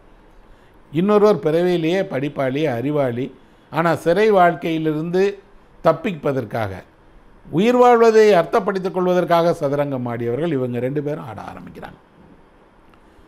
இவங்க ரெண்டு பேருடைய அந்த விளையாட்டை தொடங்கும் போதே மிருகோவுக்கு ஆச்சரியமாக இருக்குது இந்த எதிராளி எல்லாவற்றையும் கற்பனையினுடைய துணை கொண்டு தான் செய்கிறான் நான் ஒரு காயை நகர்த்தின உடனே அவருக்கு இந்த விளையாட்டினுடைய அடுத்தடுத்த எல்லா மூவும் தெரிய ஆரம்பிச்சது. இன்னொன்று நான் எந்த காயை நகர்த்துவேன் கையை எடுத்த உடனே அந்த ஆள் கண்டுபிடிச்சிடாரு இந்த காய் இங்கே போச்சுன்னா இது தான் இது தான் இது தான் அதனுடைய எல்லையற்ற சாத்தியங்களை எல்லாத்தையும் மனதில் ஓட்டி பார்த்து உடனே அவர் முடிவுக்கு வந்துடுறாரு. அவரை குழப்பமடைய வைக்கணும். ஒரு காயை எடுக்கணும் நான் வச்சிடக்கூடாது. இன்னும் சொல்லப்போனால் முடிவுகளை வேகமாக எடுக்கக்கூடாது. தாமதிக்க தாமதிக்க அவர் குழப்பமடைகிறார். வேகமாக விளையாடி பயிற்சி பெற்றவர் அவர்னு தெரிஞ்சுக்கிறான். தாமதிக்கிறான் குழப்பமடைய வைக்கிறான். டாக்டர் பிக்கு தெரிகிறது தான் குழப்பமடைந்தால் விளையாட்டில் தோற்றுருவோம் எதிராளி ஒரு காயை மூவ் பண்ணனா அப்படின்னு முடிவு பண்ணிட்டா இவர் மனதில் எல்லாம் வந்துடும் அவன் திரும்பி எடுத்துட்டான்னா அவருக்கு குழப்பமாயிடுவார். அவருடைய பலவீனத்தை வைத்துக்கொண்டு தான் மிர்கோ வந்து அவரை வெற்றி அடைகிறான். கடைசியில் போட்டியில் அவன் ஜெயித்த பின்னாடி அவனுக்கு தோன்றுகிறது. என்னுடைய எதிராளி வந்து என்னை இன்னைக்கு என்கிட்ட தோற்று போயிருந்தா கூட அவன் சாதாரணமான ஆளே இல்லை. மாபெரும் சதுரங்க வீரன் சதுரங்க போட்டியினுடைய வெற்றியாளன் அப்படின்னு அவன் உணர்றான். அவன் உணர்வதன் வழியாக இந்த போட்டி முடிஞ்சு போயிடுது ஆனால் இந்த போட்டி இந்த போட்டிக்கு பின்னாடி இருந்த இந்த மனநிலையை ஒரு குறியீடாகத்தான் ஜுவாக் வைக்கிறார். என்ன அப்படின்னா ஹிட்லரோட அந்த நாசி கொடுமையில் நிறைய பேர் கற்பனையின் வழியாகத்தான் உயிர் வாழ்ந்தாங்க. நல்ல வாழ்க்கை கிடைச்சிரும் அமெரிக்காவுக்கு போனால் தப்பிச்சிடலாம் அல்லது இங்கிலாந்துக்கு போனால் புதிய வாழ்க்கை கிடைச்சிரும் புதிய வணிகம் தொடங்கலாம். புதிய வேலை கிடைச்சிரும் புதிதாக ஊரில் குடும்பம் செட்டில் ஆயிருங்கிற கற்பனையில் தான் வாழ்ந்தாங்க. சதுரங்க போட்டியை பற்றி நீங்கள் படிக்க ஆரம்பித்தீங்கன்னா அந்த போட்டியாளர்கள் வேர்ல்ட் சாம்பியன்ஸ் இருக்காங்க இல்லையா? அவர்கள் எல்லாரையும் பற்றிய தொகுப்பு நூல் அவர்களுடைய ஒரு தொகுப்பாக வெளிவந்திருக்கக்கூடிய அவர்களுடைய நேர்காணல்களை எல்லாம் கொண்ட ஒரு புத்தகத்தை வாசித்தேன் நீங்கள் ஒரு எந்த ஒரு நாவலில் எந்த ஒரு புனைகதையில் கூட இவ்வளோ வியப்பான விஷயங்கள் இருக்காது. காரணம் என்ன அப்படின்னா இன்றைக்கு சதுரங்க போட்டிங்கிறது சதுரங்க போட்டியில் நீங்கள் உலக அளவில் பெரிய சாம்பியன் ஆகிறதுங்கிறது லேசான விஷயமே கிடையாது. ஆனால் அப்படி அந்த ஒரு நிலைக்கு வந்துட்டீங்கன்னா உங்களுக்கு பணம் கொட்டும். இன்னும் ஒரு பக்கம் இருக்குது அப்படின்னா இந்த விளையாட்டு ஒருவர் விளையாடினால் கூட அந்த விளையாட்டுக்கு அவரை தயார்படுத்துவதற்காக நூறு இரநூறு பேர் பின்னாடி இருந்துட்டு வருட கணக்கில் உழைத்து கொண்டே இருக்கிறாங்க. இப்போ விஸ்வநாதன் ஆனந்த் வந்து இந்தியாவின் சார்பாக விளையாடி வேர்ல்டு செஸ் சாம்பியன் ஆனார் அப்படின்னா அது ஒரு பெரிய சாதனை. உண்மையில் அதனுடைய ஒரு கிரிக்கெட் வீரர்களுக்கு கிடைத்த அந்த மரியாதையை அந்த பெரிய புகழை விஸ்வநாதன் ஆனந்துக்கெல்லாம் கிடைக்கல. அவர் கொண்டாடப்பட்டார் அங்கீகரிக்கப்பட்டார் அவருக்கான இடம் இருக்குது எல்லாம் சரி. ஆனால் ஒரு பெரிய புகழ்பெற்ற நட்சத்திரமாக எல்லாம் விஸ்வநாதன் ஆனந்தை நாம் நினைக்கல. காரணம் அந்த சதுரங்க போட்டியை பற்றிய நம்மளுடைய அறியாமையை தான் காரணம் சொல்லுவேன் ஏன்னா காஸ்பரோவும் சரி உலகத்தினுடைய பெரிய விளையாட்டு வீரர்களும் சரி ஆனந்தை பற்றி சொல்கிறதெல்லாம் ஆனந்த் அவ்வளவு ஒரு திறமையான விளையாட்டு வீரர் அப்படிங்கிறத தாண்டி அவர் விளையாடும் போது ஒரு பண்பாளராக நடந்து கொள்வார். முகம் சுளிக்க மாட்டார் கடும் சொல் சொல்ல மாட்டார் மோசமாக நடந்து கொள்ள மாட்டார் என்று அவரை அவ்வளவு ஒரு அவருடைய பண்பை உயர்ந்து பேசுகிறாங்க. இந்த புத்தகத்தில் நேர்காணலோட புத்தகத்தில் நிறைய சுவாரஸ்யமான விஷயங்கள் இருக்குது நண்பர்களே. அது சதுரங்க இந்த ஜிவேக்கோட நாவலை புரிந்து கொள்வதுக்கு உதவியாக இருக்கும். என்ன அப்படின்னா ஒரு சதுரங்க போட்டியில் வேர்ல்டு சாம்பியன் ஒருத்தர் இருக்கிறார். அவருக்கு ஒரு நம்பிக்கை என்ன அப்படின்னா அவர் சதுரங்கம் ஆடுகிற நேரத்தில் அவருடைய அம்மா அவங்க ஊரில் அவருக்காக பிரார்த்தனை பண்ணிக்கிட்டே இருக்கணும். எப்படி? இவர் விளையாட ஆரம்பித்த உடனே அவங்க அம்மா போய் ப்ரேயர் ரூமில் போய் ப்ரேயர் பண்ண ஆரம்பிச்சிருவாங்க.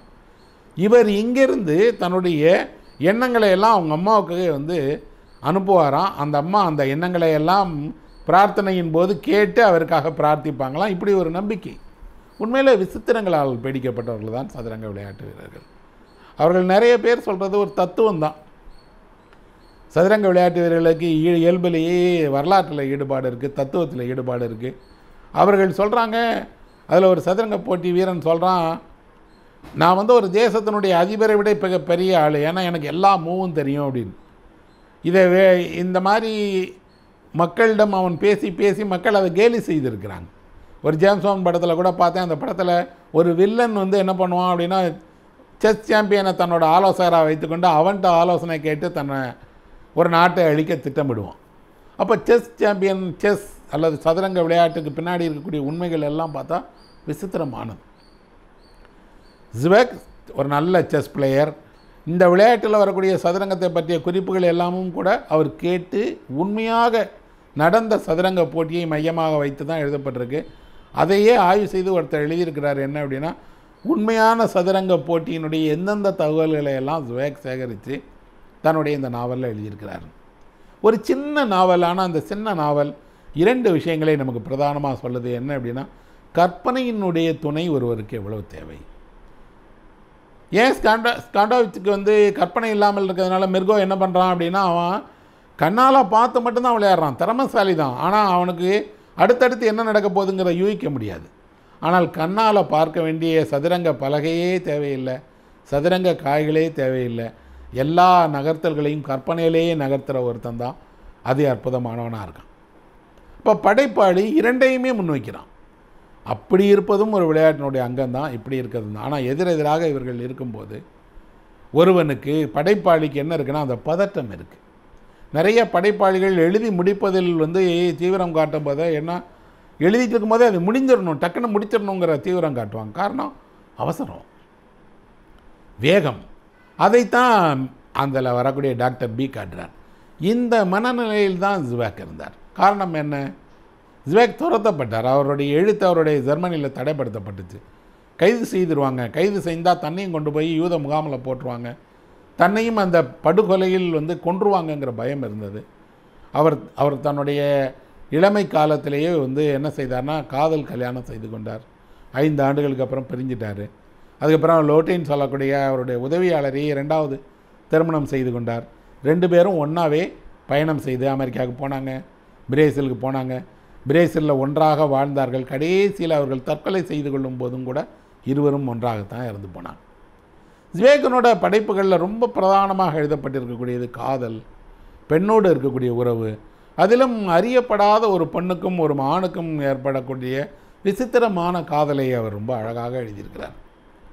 இந்த தட்டழிந்து ஓடிய அடைக்கலமான காலகட்டத்தில் அவருக்கு ஆதரவு குரல் கொடுப்பதற்காக பெண் இன்டர்நேஷனல் என்ன செய்ததுன்னா ஒரு சர்வதேச இவரை போன்ற எழுத்தாளர்களை வந்து காக்க வேண்டும் என்பதற்காக ஒரு சர்வதேச கருத்தரங்கத்தை நடத்துச்சு. அந்த கருத்தரங்கத்தை கலந்து கொள்வதற்காக பிரேசிலுக்கு போன ஜுவேக்க பிரேசில் அரசாங்கமே வரவேற்று அந்த அர நாட்டினுடைய மிகப்பெரிய ஒரு விருந்து கொடுத்து கௌரவித்து அவரை ஒரு விருந்தினராக அவர்கள் வைத்திருந்தாங்க. அந்த விருந்தில் ஜுவேக் சொன்னார் எனக்கு வந்து எங்கே போனாலும் இந்த மாதிரியான என்னுடைய எழுத்தின் வழியாக நண்பர்கள் இருக்கிறீங்க இல்லையா?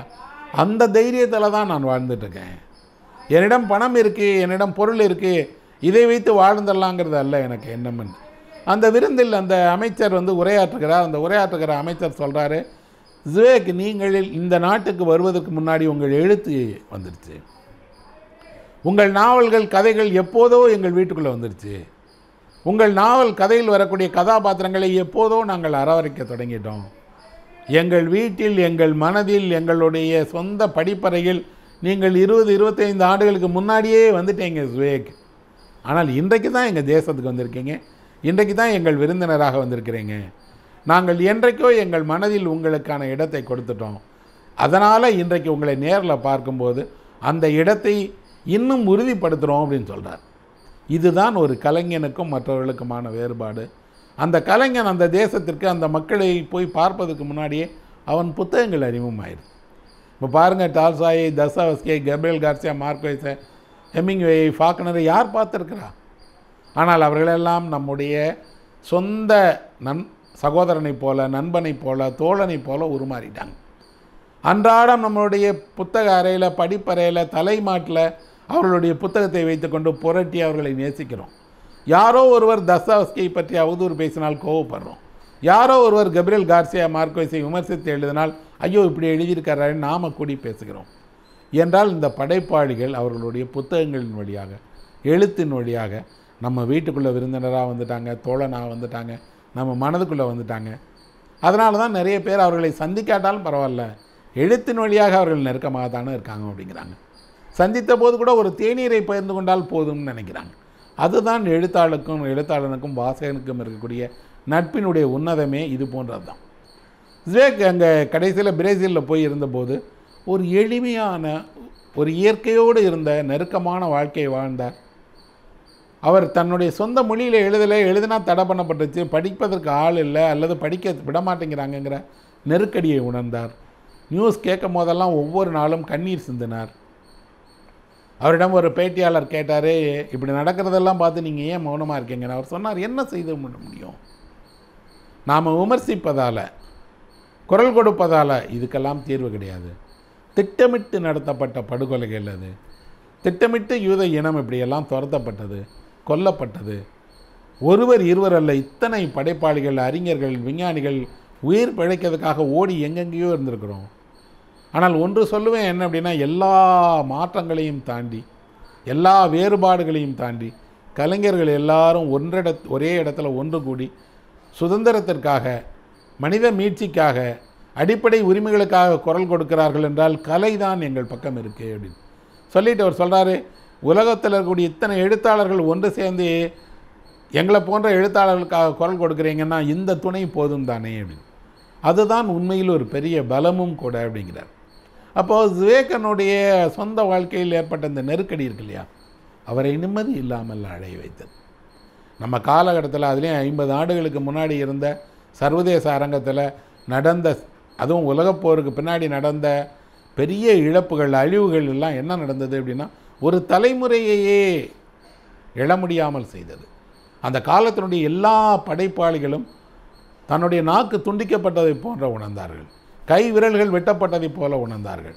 கால்கள் இல்லாமல் ஊர்ந்து வாழ்வதைப் போல உணர்ந்தான். அதுதான் அன்றைக்கு இருந்த நிஜம்.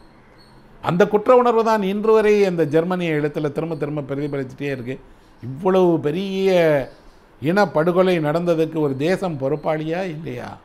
அந்த தேசத்தை எப்படி நடத்துவது? அந்த தேசத்தின் மீதான குற்றத்திற்கு யார் காரணம் என்று எப்படி விசாரிக்கிறது அப்படிங்கிறத இன்னும் அவங்க பேசிகிட்டே இருக்காங்க.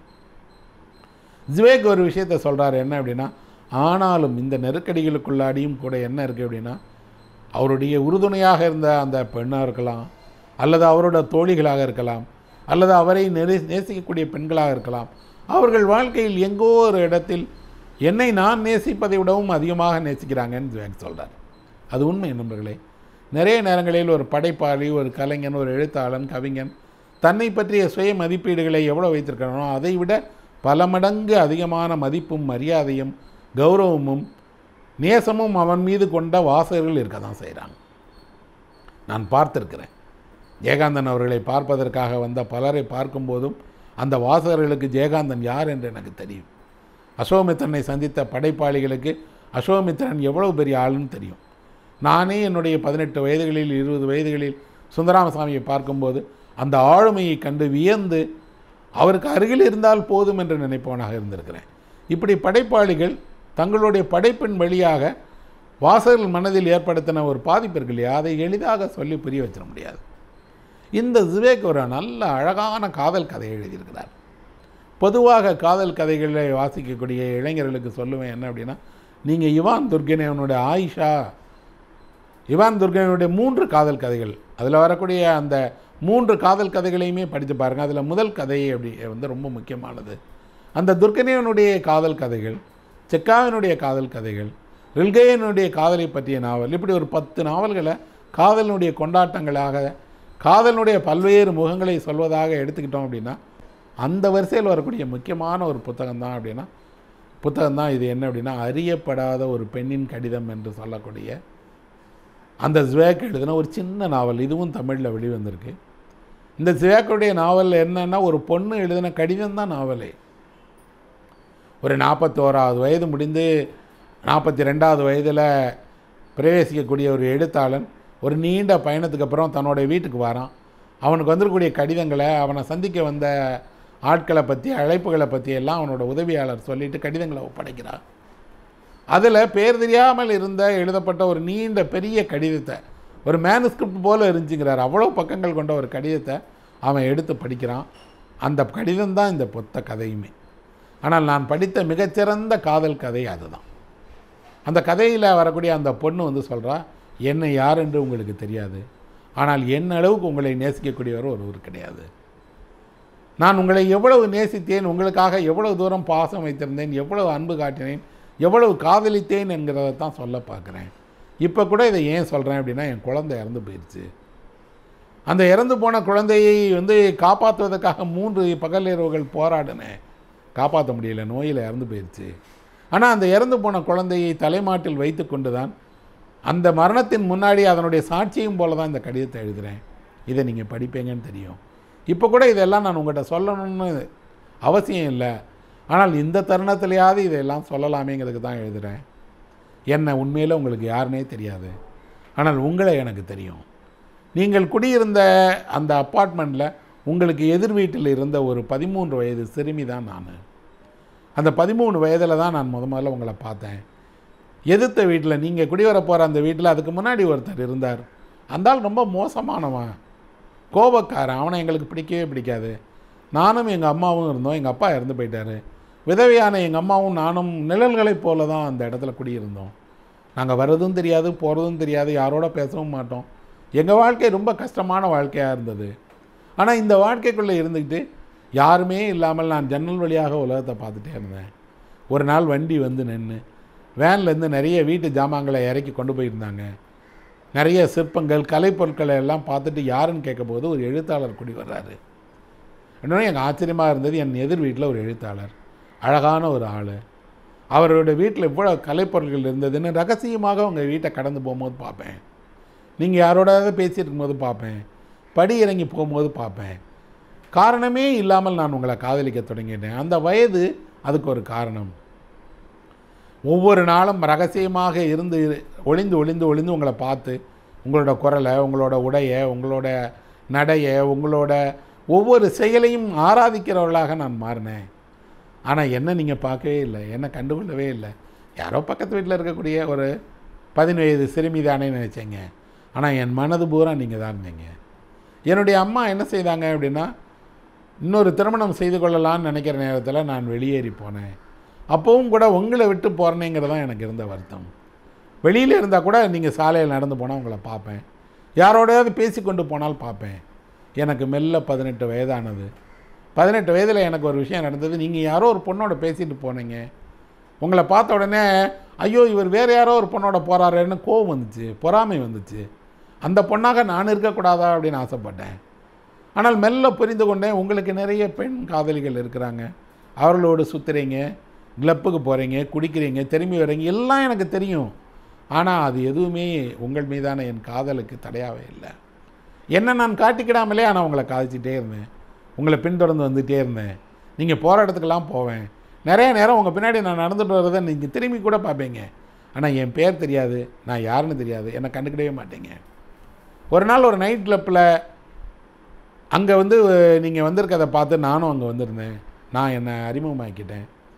அப்போ கூட நான் யாருன்னு நீங்கள் கேட்கவே இல்லை. அழகான ஒரு பொண்ணு இளம் பொண்ணு ஒரு கிளப்பில் நம்மளை சந்திக்கிறாளேன்னு வச்சுட்டு என் என்னோட சாப்பிட போகலாமான்னு கேட்டீங்க. இந்த சொல்லுக்காக இந்த தருணத்துக்காக எவ்வளோ நாள் காத்துட்டு இருந்தேன்? நாம் ஒன்றா போய் சாப்பிட்டோம். என்னோட வரையான்னு கேட்டீங்க உங்களோட அறைக்கு போனோம். உங்களோட அந்த இரவை ச- கழித்தேன்.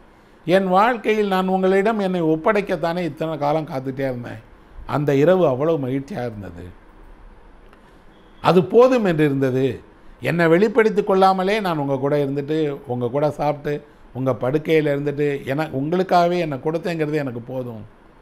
நான் கிளம்பும்போது காலையில் மறுநாள் நீங்கள் என்ன செஞ்சீங்க அப்படின்னா அங்கே இருந்த அந்த பூங்கோழையிலேருந்து நீங்கள் மூணு நாலு வெள்ளை ரோஜாக்களை எனக்கு எடுத்து கொடுத்து இதை வச்சுக்கோன்னீங்க அந்த ரோஜாக்களை நான் இன்னும் என் வீட்டில் வச்சுருக்கேன். அதிலிருந்து ஒவ்வொரு பிறந்தநாளின் போது வெள்ளை ரோஜாக்களை உங்களுக்கு அனுப்பி வைப்பேன். அந்த ஒரு நாள் சந்தோஷம் போதாது என்பதற்காக அடுத்து அடுத்த வாரத்திலேயே ரெண்டாவது முறையும் நான் உங்களை பார்த்தேன். மூணாவது முறையும் பார்த்தேன். அப்போ கூட ஒரு முறையும் நீங்கள் என்னை யாருன்னு கேட்கல. யாருன்னு சொல்லலை.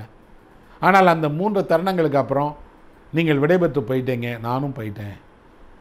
நான் தனியாக வாழ ஆரம்பிச்சிட்டேன். ஆனால் இப்போது ஒரு உண்மையை சொல்கிறேன் அந்த சந்தோஷத்தினுடைய அடையாளமாக பிறந்த குழந்தை உங்களுடைய குழந்தை தான். அதுதான் இன்றைக்கி இறந்து போச்சு. அந்த குழந்தையினுடைய மரணத்தில் அந்த குழந்தையினுடைய உடலை பக்கத்தில் வச்சுக்கிட்டு தான் நான் உங்களுக்கு இந்த கடிதத்தை எழுதுகிறேன் பாருங்கள் நான் உங்களுக்காகவே வாழ்ந்திருக்கிறேன். உங்கள் மீதான காதலை தவிர என் மனதில் எதுவுமே இல்லை. அந்த வெள்ளை ரோஜாக்களை நான் வைத்திருப்பது போன்ற ஒரு ஆசையினுடைய அடையாளமாகத்தான் என் காதலும் இருக்குது ஆனால் நீங்கள் என்னை ஏன் தெரிஞ்சுக்கிடணும்னு நினைக்கவே இல்லை. கண்ணை மூடி யோசித்து பார்த்தீங்கன்னா கூட உங்களை கடந்து போன பெண்ணில் ஒருத்தையாக தான் நான் இருப்பேனே தவிர என்னை பற்றி உங்களுக்கு எதுவுமே தெரியாது. ஆனால் எனக்கு நீங்கள் மட்டும்தான் உலகம். உங்கள் பையனை வளர்ப்பது தான் உலகம். அந்த பையனை வயிற்றில் சுமந்துட்டு அவனை பிறந்து அவனை கை குழந்தையாக வைத்துக்கொண்டு அவனை வாழ வைக்கிறதுக்காக எல்லா கஷ்டங்களையும் நான் தந்துச்சேன் அப்போ எல்லாம் கூட நீங்கள் என் கூட இருக்கிறதா தான் நினச்சேன். இப்போ கூட இந்த பையன் இறந்து போன பின்னாடி என் வாழ்க்கையில் ஒன்றுமே இல்லை. காரணம் நீங்கள் என்னோடு இல்லையேங்கிற ஏக்கம்தான் இருக்குது ஒருவேளை இந்த கடிதத்தை படிச்சுட்டு நீங்கள் என்னை தேடி வந்தால் நான் இருக்க மாட்டேன். இறந்து கூட போயிருப்பேன். ஆனால் அதுக்கு முன்னாடி உங்களை நேசித்த இப்படி ஒரு பொண்ணு இருக்கா அப்படிங்கிறத நீங்கள் தெரிஞ்சுக்கோங்க. அப்படி உங்களுக்கு தெரியாமலே உங்களை உங்களை விட அதிகம் நேசிக்கக்கூடிய ஒரு வாசகி இருந்தா அப்படின்னு வச்சுக்கோங்க. ஒரு அரியா பெண்ணுடைய மனதுக்குள்ளே நீங்கள் இருந்து அவளுடைய காதலுக்கு அடையாளமாகி அவளுக்கு ஒரு குழந்தையை கொடுத்தோம். அந்த குழந்தைக்கு நீங்கள் தான் தகப்பன் உணர்ந்துக்கோங்க. இப்படியான ஒரு பெண்ணும் இருக்கக்கூடுங்கிறத நான் உங்களுக்கு தெரியப்படுத்தணுங்கிறது தான் சொல்கிறேன் அப்படின்னு அந்த கடிதம் முடியுது. அதை படித்து முடித்த உடனடி அந்த எழுத்தாளர் நிலை குலைந்து போயிடுறார். உண்மை அவள் சொன்ன எல்லாமும் உண்மை. இப்போ கண்ணை மூடி யோசித்து பார்த்தா அப்படி இந்த பொண்ணு யாருன்னு தெரியாது. அவள் எப்படி இருந்தாலும் தெரியாது. தன்னோடு அவள் எப்படி படுக்கை பகிர்ந்து கொண்டான்னு தெரியாது. அவள் கொடுத்த முத்தம் தெரியாது. ஆனால் அவளுக்கோ தான் தான் எல்லாமும் வந்திருக்கிறோம். யாரோ ஒருவர் என்னுடைய நிழலைப் போல கூடவே இருந்திருக்கிறார்கள் ஆனால் அவளை நான் தெரிந்து கொள்ளவே இல்லை என்றால் இந்த காதலினுடைய பெயர் தான் என்ன? வெறும் பைத்தியக்காரத்தனமா? இந்த காதல் அர்த்தமற்றதா அப்படின்னா இல்லை. காதல் விசித்திரமானது என்றால் முழு விசித்திரமானது இப்படி ஒரு காதல். இந்த காதலிக்கு தன்னை ஏன் காட்டிக்கணும்னு ஆசை இல்லை? திருமணம் செய்து கொள்ளணும்னு ஆசை இல்லை? போராடி அவனோடே இருக்கணும்னு ஆசை இல்லை. ஆனால் போதும். தொலைவில் இருந்தாலும் அவரை பார்த்துக்கிட்டு அவரோட இருந்துட்டு அந்த அவருனுடைய அடையாளத்தை தான் உருவாக்கி வயிற்றில் கருவாக வைத்து வளர்த்தால் போதும் அப்படின்னு. அப்போது அந்த பொண்ணுடைய ஒரு பரிசுத்தமான காதலோட அடையாளமாகத்தான் அந்த வெள்ளை ரோஜா மலர்கள் இருக்கு. அவள் ஒவ்வொரு பிறந்த நாளின் போதும் என்ன செய்கிறான்னா அந்த வெள்ளை மலர்களை அனுப்புறதன் வழியாக தன்னையே தான் அனுப்பி வைக்கிறாள் தன் அடையாளங்களையே தான் அனுப்பி வைக்கிறாள் தன் காதலையே தான் அனுப்பி வைக்கிறாள் இந்த கடிதத்தினுடைய கடைசியில் கூட அவர் சொல்கிறா இனி வெள்ளை ரோஜாக்கள் உங்களுக்கு வராது. அனுப்பி வைக்க என்னை போன்ற ஒரு பொண்ணு இருக்க மாட்டா. அந்த நீங்கள் உங்களோட அந்த பூஜாடியில் வெள்ளை ரோஜாக்கள் இல்லாத வெறுமையை அனுபவிப்பீங்க. அந்த வெறுமையின் வழியாக என்னை உணர்வீங்க. என் காதலை உணர்வீங்கிறான் எவ்வளோ ஒரு அழகான மகத்தான மறக்க முடியாத காதலை எழுதியிருக்கிறார் பாருங்கள் இந்த அளவுக்கு நுண்ணுணர்வு கொண்ட காதலை புரிந்து கொண்ட அந்த பெண்ணுடைய கண்ணீருக்கு பின்னால் இருக்கக்கூடிய தூய அன்பை புரிந்து கொண்டவர் தான் ஜுவேக். அவரைத்தான் நண்பர்களே இந்த உலகம் வாழ விடலை. இவரை போல மென் உணர்வு கொண்ட மகத்தான கலைஞன்தான் துரத்தப்பட்டான். அவனைத்தான் ஹிட்லருடைய இராணுவம் ஹிட்லருடைய ஆட்கள் கொல்வதற்காக துரத்திட்டு இருந்தாங்க. அவன்தான் தேசத்தை இழந்து அவன்தான் மொழியை இழந்து. போதும் நண்பர்களே உங்களிடமிருந்து விடைபெற்றுக் கொள்கிறேன்னு ஒரு கடிதத்தை எழுதி வைத்துக்கொண்டு பிரேசிலில் தற்கொலை பண்ணி இறந்து போயிட்டான். அப்போ இப்படி ஒரு காதல் கதையை எழுதிய ஒரு மனிதனை இவ்வளவு நுட்பமாக யாரோ ஒருவரனுடைய முகந்தறியாத ஒரு பெண்ணினுடைய பரிசுத்தமான அன்பை புரிந்து கொள்ளக்கூடிய ஒரு பெரும் கலைஞனை ஏன் காலம் துரத்தியது? ஏன் காலம் இப்படியெல்லாம் அவனை வந்து அவனுடைய பிடரி பிடித்து தள்ளி அவனை ஒரு நரகத்துக்குள் தள்ளியது அப்படின்னா அதுதான் இந்த இரண்டாம் உலகப் போரனுடைய கொடுமை. ஏராளமான மனிதர்கள் நாசிகளால் கொல்லப்பட்டாங்க. யூதர்கள் அத்தனை பேர் இறந்தாங்க. ஆனால் இந்த கலைஞர்களுடைய மரணம் என்பது யோசித்து பார்க்கவே முடியாத மரணம். ஒரு அந்த யூத கவிஞன் ஒரு கவிஞன் என்ன அப்படின்னா அவன் தான் கவிஞன்கிறத மறைத்துக்கிட்டு ஒரு ஜெர்மனிய அதிகாரியினுடைய வீட்டில் எடுபிடி பணியாளனாக வேலை செய்தான். ஆனால் ஒரு நாள் அந்த பணியாளரை இன்னொரு ஜெர்மனி அதிகாரி வந்து பார்த்துட்டு இவனை பார்த்தா யூத மாதிரி இருக்கிறானே அப்படின்னு. அப்படியா சொல்கிறா டேய் நீங்கள் வா நீ யூதனான்னு கேட்டிருக்காரு. அவன் மௌனமாக ஆமான்னு சொல்லியிருக்கான். உடனே தான் பாக்கெட்லேருந்து துப்பாக்கி எடுத்து அவனை வந்து சுட்டு கொன்னுட்டு அவர் சொல்கிறாரு துப்பாக்கி வேலை செய்தான்னு சொல்லி சோதித்து பார்த்தேன் செத்துட்டான் அப்படின்னு ஆனால் அந்த துப்பாக்கி தோட்டாவிற்கு தெரியாது அந்த மௌனமாக எடுபிடி வேலை செய்தாவது வாழ்ந்துடலான்னு நினைத்தவன் ஒரு மகத்தான கவிஞன் அப்படின்னு தெரியாது. இப்படி கொல்லப்பட்டவர்கள் நிறைய. இந்த ஸ்வேக்கோட கதையை படித்த உடனே என் மனதில் தோன்றின இன்னொரு கதை ஜப்பானில் இருந்து நோபல் பரிசு பெற்ற யாசுனோரி கவாபாதாவினுடைய ஒரு கதை. அதுலேயும் இதே விஷயம்தான் சொல்லப்படுது. ஆனால் இரண்டு பக்கத்துக்குள் சொல்லப்படுது. கிட்டத்தட்ட ஒரு ஹைக்கூ கவிஞர்களில் இப்போ பாஷோ மாதிரி ரியோகான் மாதிரி அல்லது அங்கே இருந்த புகழ்பெற்ற ஜென் கவிஞர்களில் ஒருவரைப் போல தான் நான் கவபாத்தாவையும் சொல்லுவேன். அவர் நோபல் பரிசு பெற்ற ஒரு பெரிய படைப்பாளி உரைநடையில் அவ்வளோ எழுதியிருந்தால் கூட அவர் கதைகள் அவ்வளோ அழகாக ஒரு கூழாங்கலுக்கெல்லாம் ஒரு அழகு இருக்கு இல்லையா? அப்படி இயற்கையிலேயே உருவான அழகு போல கதைகளை எழுதினவர். இந்த ரெண்டு பக்க கதைக்குள்ள அவ்வளோ பெரிய ஜுவேக் சொன்ன விஷயத்த சொல்கிறார் அங்கே தான் சமகாலத்தில் பெரிய படைப்பாளிகள் தங்களுடைய கலையின் வழியாக வேறு வேறு தேசங்களில் இருந்தால் கூட ஒரு போல ஒரு வீச்சை உருவாக்கியிருக்காங்கங்கிறத நாம் புரிஞ்சுக்கிட முடியும். கவபாத்தாவோட கதையில் என்ன இருக்குது அப்படின்னா ஒரு பாலியல் தொழில் செய்யக்கூடிய ஒரு பொண்ணு அவளுக்கு இது மாதிரி ஒரு குழந்தை இருக்குது அது இறந்து போயிடுது. இறந்து போன குழந்தையினுடைய எலும்புகளை சேகரித்து அந்த எலும்புகளை வேறு வேறு ஆளுக்கு தபாலில் அனுப்பி வைக்கிறாள் அதான் கதை. கதையினுடைய கருப்பொருளே யோசிச்சு பாருங்கள் அந்த எலும்புகளை பெறக்கூடிய ஒவ்வொருத்தருக்கும் ஒரு கடிதம் இணைக்கப்பட்டிருக்கு. என்னென்னா இந்த குழந்தை இறந்து போயிடுச்சு அது என்னுடைய குழந்தை. இறந்து போன குழந்தையினுடைய எலும்புகளில் ஒரு துண்டை உனக்கு அனுப்பியிருக்கேன். ஒருவேளை நீதான் அதனுடைய தந்தையோ என்னமோ. அவர்களுக்கு தெரியாது. அந்த குழந்தை தன்னுடைய குழந்தையான். அவளுக்கும் உறுதியாக தெரியாது. ஒருவேளை தெரிந்திருக்கலாம் ஆனால் அவள் மனசாட்சியை தொட்டு எழுப்பும் காரியமாக கூட இந்த எலும்புகளை அனுப்பியிருக்கலாம். ஆனால் எவ்வளோ விசித்திரம் பாருங்கள் உங்களுக்கு ஒரு கடிதம் வருது. கடிதத்துக்குள்ளே ஒரு சின்ன எலும்பு துண்டு இருக்குது ஒரு சிறு குறிப்பு இருக்குது இந்த எலும்பு துண்டைக்குரிய குழந்தைக்கு தந்தை நீயாகத்தான் இருக்கக்கூடும். ஆனால் அந்த பொண்ணை நினச்சி பார்த்தீங்கன்னா யாரும் தெரியல. அந்த குழந்தைய நினச்சி பார்த்தீங்கன்னா உங்கள் கண்ணுக்கே தெரியல. அதை படிக்கிற ஒவ்வொருவரும் என்ன மாதிரியான அதிர்ச்சிக்கு உள்ளாகிறார்கள் என்ன மாதிரியான விஷயத்தை யோசிக்கிறார்கள்ங்கிறது தான் கவப்பாட்டவனுடைய கதை. அதில் வேறு ஒன்றுமே கிடையாது. இந்த மி- ஜுவேக்கோட கதையில் வரக்கூடிய பொண்ணுக்காவது ஒரு வெள்ளை மலர்களைப் போல தூய அன்பு இருக்குது இவளுக்கு அப்படி இல்லை. ஆனால் அந்த இறந்த குழந்தையினுடைய தந்தை யார் என்ற கேள்வியை எழுப்புவதன் வழியாக அவள் ஒரு முக்கியமான பிரச்சனையை எழுப்புறா. என்ன அப்படின்னா நீங்கள் பொறுப்பற்றவர்களாக நடந்து கொள்கிறீர்கள். யாரோ ஒருவன் தன்னுடைய குழந்தையை அனாதையைப் போல விட்டுட்டு போயிடுறான். யாரோ ஒருவன் தன்னுடைய வித்து எங்கே விளைகிறது என்பதை பற்றி அறியாமலே கடந்து போயிடுறான். உங்களுடைய பொறுப்புணர்வு இன்மை உங்களுடைய அக்கறையின்மை நீங்கள் என்னை ஒரு பயன்படுத்தி தூக்கி எறிந்ததனுடைய அடையாளம்தான் இந்த எலும்பு அப்படிங்கிறான். அந்த குழந்தையினுடைய புகைப்படத்தை அவள் அனுப்பியிருந்தால் கூட இவ்வளோ பெரிய அதிர்ச்சியை நாம் உணர முடியாது. ஒரு சின்ன எலும்பு துண்டு போதும் அந்த கதையை சொல்வதற்கு என்றால் அங்கே தான் ஒரு இலக்கியவாதி நிற்கிறான் என்ன அப்படின்னா இறந்து போனவர்களுடைய அந்த எலும்புகளில் இருந்து அவன் தலைமுறையினுடைய கதைகளை சொல்பவனாக இருக்கான். ஒடுக்கப்பட்ட இனத்தினுடைய கதைகளை சொல்பவனாக இருக்கான். இழந்து போன அத்தனை விஷயங்களுக்குமான சாட்சியாக எலும்பு துண்டுகளை மாற்றுகிறான். அதுதான் கலை நண்பர்களே அதுதான் கலையினுடைய உன்னதம். அப்போ விவேக் போன்ற படைப்பாளிகள் என்ன இருக்காங்க? கொண்டாடப்பட்டார்கள். பிரிட்டனில் தான் அவருக்கு தெரி எனக்கு தெரிஞ்ச அவருக்கு குறைவான வாசகர்கள். ஆனால் அமெரிக்காவில் ஏராளமான வாசகர்கள். உலகம் பூரா அவருக்கு வாசகர்கள். அவருடைய கதைகள் நாடகமாக்கப்பட்டிருக்கு திரைப்படமாக்கப்பட்டிருக்கு.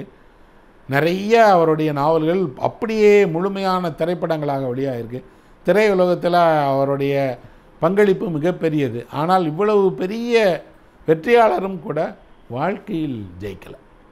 வாழ்க்கையில் இந்த வெற்றியை அடையலை.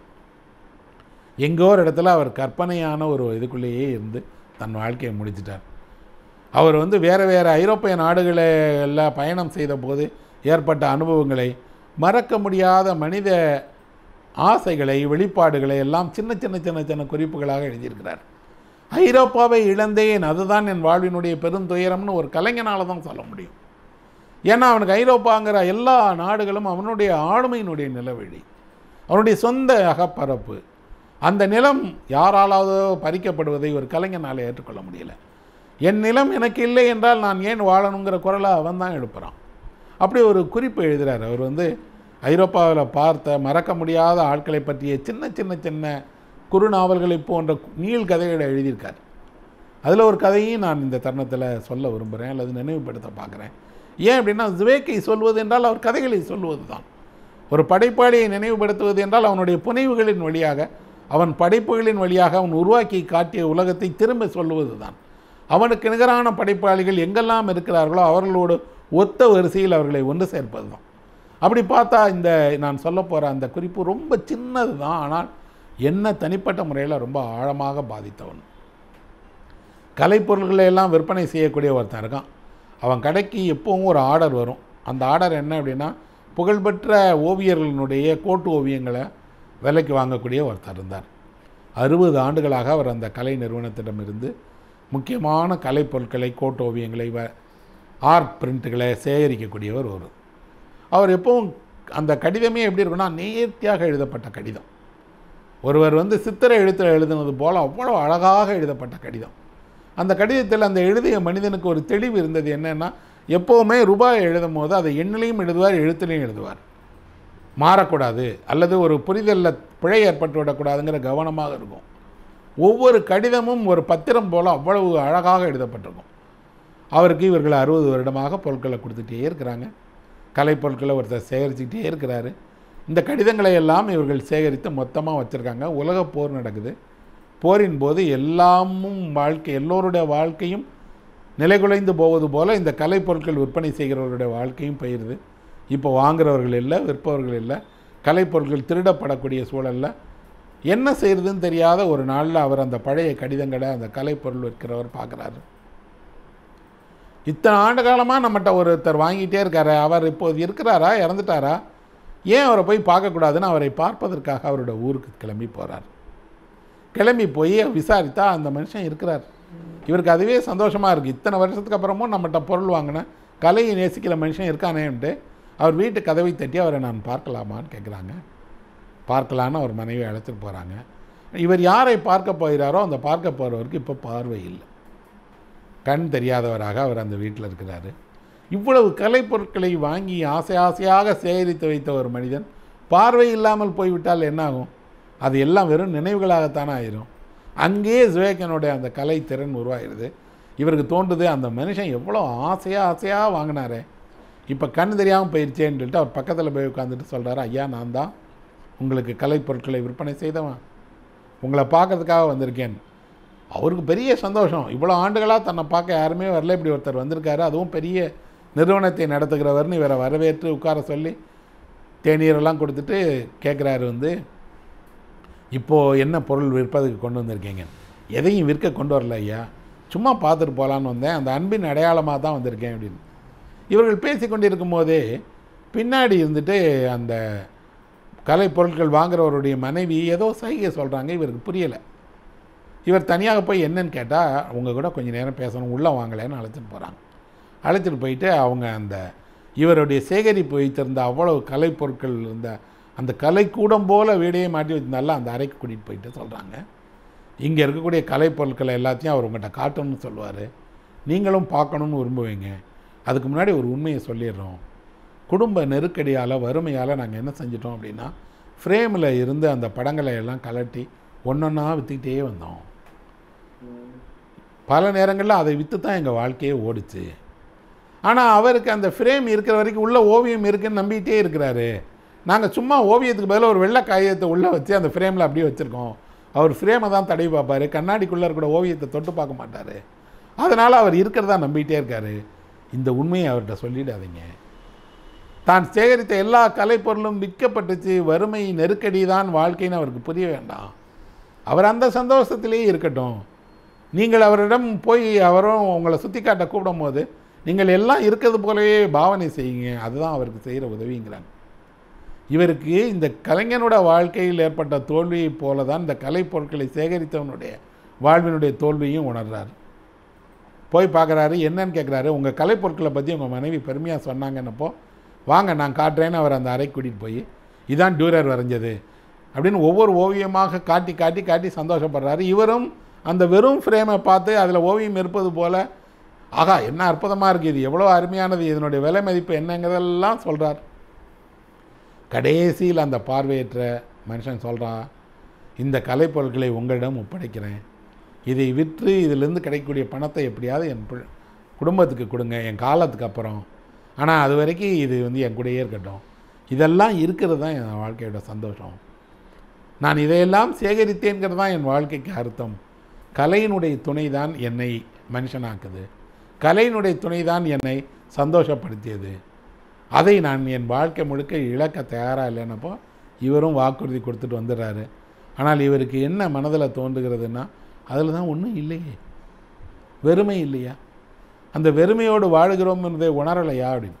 அதே வரிதான். வெறுமையோடு சந்திப்பது வெறுமையை எதிர்கொள்வது அல்லது வெறும் நாட்களை எப்படி கடந்து கொள்வது அல்லது செய்வதறியாமல் இருக்கும்போது வாழ்க்கைக்கு என்ன அர்த்தம்? இதைத்தான் ஸ்வேக் எழுதுகிறார் இதே வரி தான் நம்ம சொல்கிற ராயல் கேம்லேயும் வருது. டாக்டர் பி சொல்கிறாரு நான் அறையில் நிசப்தமாக இருக்கும்போதெல்லாம் வெறுமையோடு பேசி கொண்டிருக்கிறேன். வெறுமையோடு உலாவுகிறேன். வெறுமையோடு விளையாடுகிறேன்னு தான் நினச்சிக்கிட்டே இருந்தேன். சதுரங்கம் தான் எனக்கு இன்னொரு துணை இருக்கிறது. கலையின் வழியாக கற்பனையின் வழியாக வாழ்க்கையை அர்த்தப்படுத்திக் கொள்ள முடியும்னு தெரிஞ்சு. இந்த கலைப்பொருட்களை சேகரித்த மனுஷனுக்கும் அதான் நடந்துச்சு. வெறுமை தான் மிச்சம் இருக்கு. இதே வெறுமை தான் இதே நிலை தான் இன்னொரு இடத்துல பார்த்தீங்க அப்படின்னா சொந்த வாழ்க்கையில் அவர் சந்தித்தார் முடிச்சிட்டார். ஆனால் காலம் என்ன நடந்தது? கலைஞனுடைய சொந்த வாழ்க்கை துயரமாக முடிந்து போனாலும் கூட அவன் கலை படைப்பின் வழியாக இந்த உலகில் கொண்டாடப்படுகிற நாயகனாக இருந்துகிட்டே இருக்கிறார். இன்றைக்கும் ஸ்டெஃபான் ஜுபாக் அப்படிங்கிறவருக்கான இடம் இலக்கியத்தில் அப்படியே இருக்குது எங்கோ ஒரு சிறு ஊர்களில் வசித்த என்னை போன்றவர்கள் அந்த ஊர்லேருந்து இந்த புத்தகங்களை தேடி படிப்பதற்காக பெரிய நகரங்களுக்கு போனோம். இவருடைய புத்தகத்தை வாங்குவதற்காக நான் டெல்லியினுடைய வீதிகளில் சுற்றி அலைஞ்சிருக்கிறேன். புத்தகங்களை தேடி வாங்கியிருக்கேன் படிச்சிருக்கிறேன். இன்றைக்கு எல்லாமும் கைக்கு கிடைக்கிறது. இந்த கலைஞர்கள் எல்லாம் கொண்டாடப்பட்டவர்களாக இருக்கிறாங்க. ஸ்வேக்குக்கு தஸ்தாவஸ்கி ரொம்ப பிடிக்கும் டால்சாயை பிடிக்கும். பால்சாக்கை பற்றி அவ்வளோ ஒரு நல்ல புத்தகம் எழுதியிருக்கிறார். ஒரு கலைஞன் தன் காலத்தினுடைய மகூத்த கலைஞர்களை முன்னிய முக்கிய படைப்பாளிகளை கொண்டாடி இருக்கிறான். ரோமன் ரோலந்தோட மிக நல்ல நெருக்கமான நட்பு இருந்திருக்குது. ரில்கேயை ஒரு இளைஞனாகவே அவருக்கு தெரியும். இப்படியெல்லாம் இருந்த ஒரு கலைஞன் நாம் நெருக்கடி நேர காலத்தில் சந்தித்த வா- வாழ்க்கையைப் போல தான் நீண்ட நாளை நீண்ட பகலை நீண்ட இரவை வெறுமையான நாட்களை கடந்து படைப்பின் வழியாக தன்னை மீட்டுக்கின்றிருக்கான் இப்போவும் கூட நான் உங்களுக்கு சொல்வேன் நண்பர்களே இந்த ஊரடங்கு காலம் முடிந்து நோயிலிருந்து நீங்கள் விடுபட்டு ஒரு புதிய வாழ்க்கையை தொடங்கும் போது உங்கள் அடிமனதில் ஒரு குரல் ஒலிக்கும் என்னென்னா பழைய வாழ்க்கையே அப்படியே கிடைக்குமா? இன்னொரு முறை பழைய வாழ்க்கைக்கு திரும்பி விட முடியாதா? பழைய நட்பை தொடர முடியாதா? அதே வாழ்க்கையே அப்படியே கிடைக்குமா என்று. அது அப்படியே கிடைக்காது என்பதுதான் உண்மை. ஆனால் அந்த இயக்கம் உங்களை விட்டு போகவே போகாது. ஜுவேக்கோட ஒரு கதையிலேயே வருது உலகப் போருக்கு பின்னால் இடிபாடுகளை கொண்ட அந்த நகரத்துக்குள் இரண்டு பேர் திரும்பி பார்க்கும்போது அவர்கள் பழசை தான் பேசுகிறாங்க பழசை தான் நினைக்கிறாங்க. ஆனால் மனித குலம் எல்லாவற்றிலிருந்தும் விடுபடும். எல்லா துயரங்களிலிருந்தும் தன்னை நீக்கிக் கொண்டு புதிய வாழ்க்கையை தொடர தொடங்கும் நம்பிக்கையை உருவாக்கும். அந்த முகந்தெரியாத ஒரு பெண் எப்படி ஒரு வெள்ளை ரோஜாக்களை அனுப்பி வைப்பதன் வழியாக தன் காதலை அனுப்புகிறாளோ அப்படி படைப்பு இலக்கியங்கள் மனிதனுக்கு மாறாத வெளிச்சத்தை அன்பை கொடுத்து கொண்டே தான் இருக்கும். அந்த வகையில் ஜுவைக்கை கொண்டாடுவது என்பது நாம் அந்த தூய வெள்ளை ரோஜாக்களை பரிமாறிக்கொள்வது போல அறியப்படாத அன்பை பகிர்ந்து கொள்வது போல முகம் தெரியாதவர்களை நேசிப்பதைப் போல ஒரு இலக்கியம்தான் நண்பர்களை இப்படி முகம் தெரியாத மனிதர்களுக்கு கூட மனது இருக்கிறது அன்பு இருக்கிறது நேசம் இருக்கிறது என்பதை புரிய வைக்கிறது. இதெல்லாம் தான் இலக்கியம் இதெல்லாம் தான் பண்பாடு இதெல்லாம் தான் இலக்கியத்தின் வழியாக உருவாகுகிற ஆளுமை என்பதைத்தான் நான் புரிந்து கொண்டேன். இதிலிருந்து என்ன கற்றுக்கொண்டேன்? பார்ப்பதற்கு. உலகை பார்ப்பதற்கு. மனிதர்களை பார்ப்பதற்கு. இந்த ஊரடங்கு கொரோனா காலத்திலும் கூட முகந்தெரியாத யாரோ ஒருவர் அதிகாலையில் வந்து இந்த தெருவை தூய்மை செய்கிறாரே. சுத்தம் செய்கிற பணியாளர்கள் வேலை செய்கிறார்களே.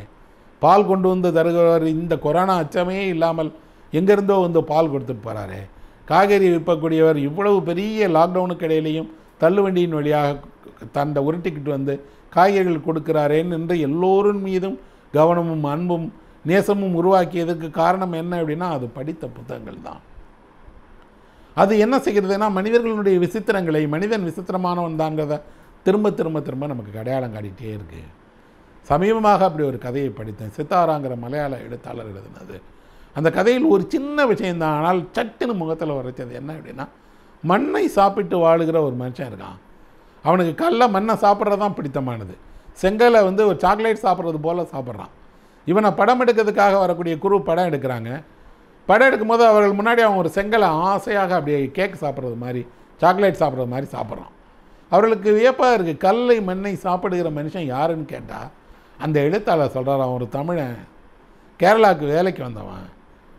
பிழைக்க வழி இல்லாமல் போன போது கல்லை மண்ணையும் சாப்பிட ஆரம்பித்து இன்றைக்கி அதையே சாப்பிடுகிறான் அப்படின்னு சொல்கிறாங்க அந்த அவலம் பாருங்கள் பிழைப்பிடம் தேடி போன இடத்துல. வாழ்க்கை உங்களுக்கு கல்லையும் மண்ணையும் தான் உணவாக கொடுத்துருக்குதுன்னா எவ்வளோ பெரிய அவலம்? அவனுக்கு என்ன செய்யன்னு தெரியல.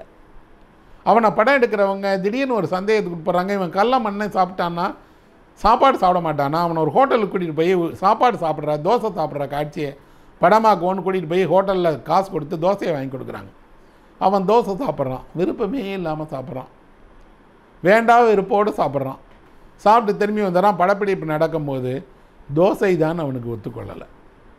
எதுக்கழித்து வாந்தி வரக்கூடியதாக இருக்குது ஓங்கரித்து வாந்தி எடுக்கிறான். கல்லையும் மண்ணையும் சாப்பிட்டு பழகிய உடலுக்கு இந்த தோசை ஒத்துக்கிடாமல் போயிடுச்சு. மனிதர்கள் எவ்வளவு விசித்திரமானவர்கள் மனித வாழ்க்கை எவ்வளவு அவலமானது என்பதுக்கு இதையெல்லாம் நான் ஒரு அடையாளமாக சொல்லுவேன் நண்பர்களே. இந்த அடையாளம் இலக்கியத்தில் உருவான போது இலக்கியத்தில் பதிவாகும் போது என்ன நடக்கிறது அப்படின்னா எங்கோ இப்படியான மனிதர்களை பார்க்கும்போது ஒதுக்க மாட்டோம் வெறுக்க மாட்டோம் புறக்கணிக்க மாட்டோம். எல்லாம் தாண்டி சாமானிய மனிதர்களை புரிந்து கொள்வோம் அன்பு செலுத்துவோம். ஜுவே காட்டுகிற அந்த தூய அன்பை நாம் இலக்கியத்திலிருந்து பெற முடியும் என்றால் அந்த இலக்கியம் நம்பிக்கையை தரும் என்றால் அதுதானே வாழ்க்கையை மீட்சி செய்யக்கூடியது. அதுதானே புதிய வாழ்க்கைக்கு நம்பிக்கை தரக்கூடியது. அதற்காகத்தான் நான் அவரை அறிமுகப்படுத்தியிருக்கேன். அவருடைய நூல்கள் இணையத்திலேயே கிடைக்கிது. ஒன்றிரண்டு புத்தகங்கள் தமிழில் வெளியாக இருக்குது ஆனால் அவருடைய முக்கிய படைப்புகள் தமிழில் வெளியாகணும். அவருடைய தேர்வு செய்யப்பட்ட சிறுகதைகள் எல்லாம் தமிழுக்கு கொண்டு வரணும் அப்படிங்கிறது தான் என்னுடைய ஆசை எண்ணம் கனவு. நிச்சயம் அதெல்லாம் நடக்கும்னு நம்புகிறேன் இளைஞர்கள் இன்றைக்கு நிறைய பேர் ஆங்கிலத்திலேயே படிக்க முடியும்னா இவருடைய புத்தகங்கள் எல்லாம் ஆங்கிலத்திலேயே இன்றைக்கி கிடைக்குது. புத்தக அங்காடிகளில் கிடைக்குது. இணையத்தில் அவரை பற்றி ஏராளமான தகவல்கள் இருக்குது தேடி படியுங்கள். உலக இலக்கியத்திலிருந்து ஒரு வெளிச்சத்தை ஒரு தூய அன்பின் அடையாளத்தை இன்றைக்கு காட்டினேங்கிறது தான் இன்றைய நாளினுடைய எனக்கு மகிழ்ச்சி. அந்த மகிழ்ச்சியோடு உங்களிடமிருந்து விடைபெறேன். இன்னொரு உரையில் நாம் அனைவரும் சந்திப்போம் நண்பர்களே. நன்றி வணக்கம்.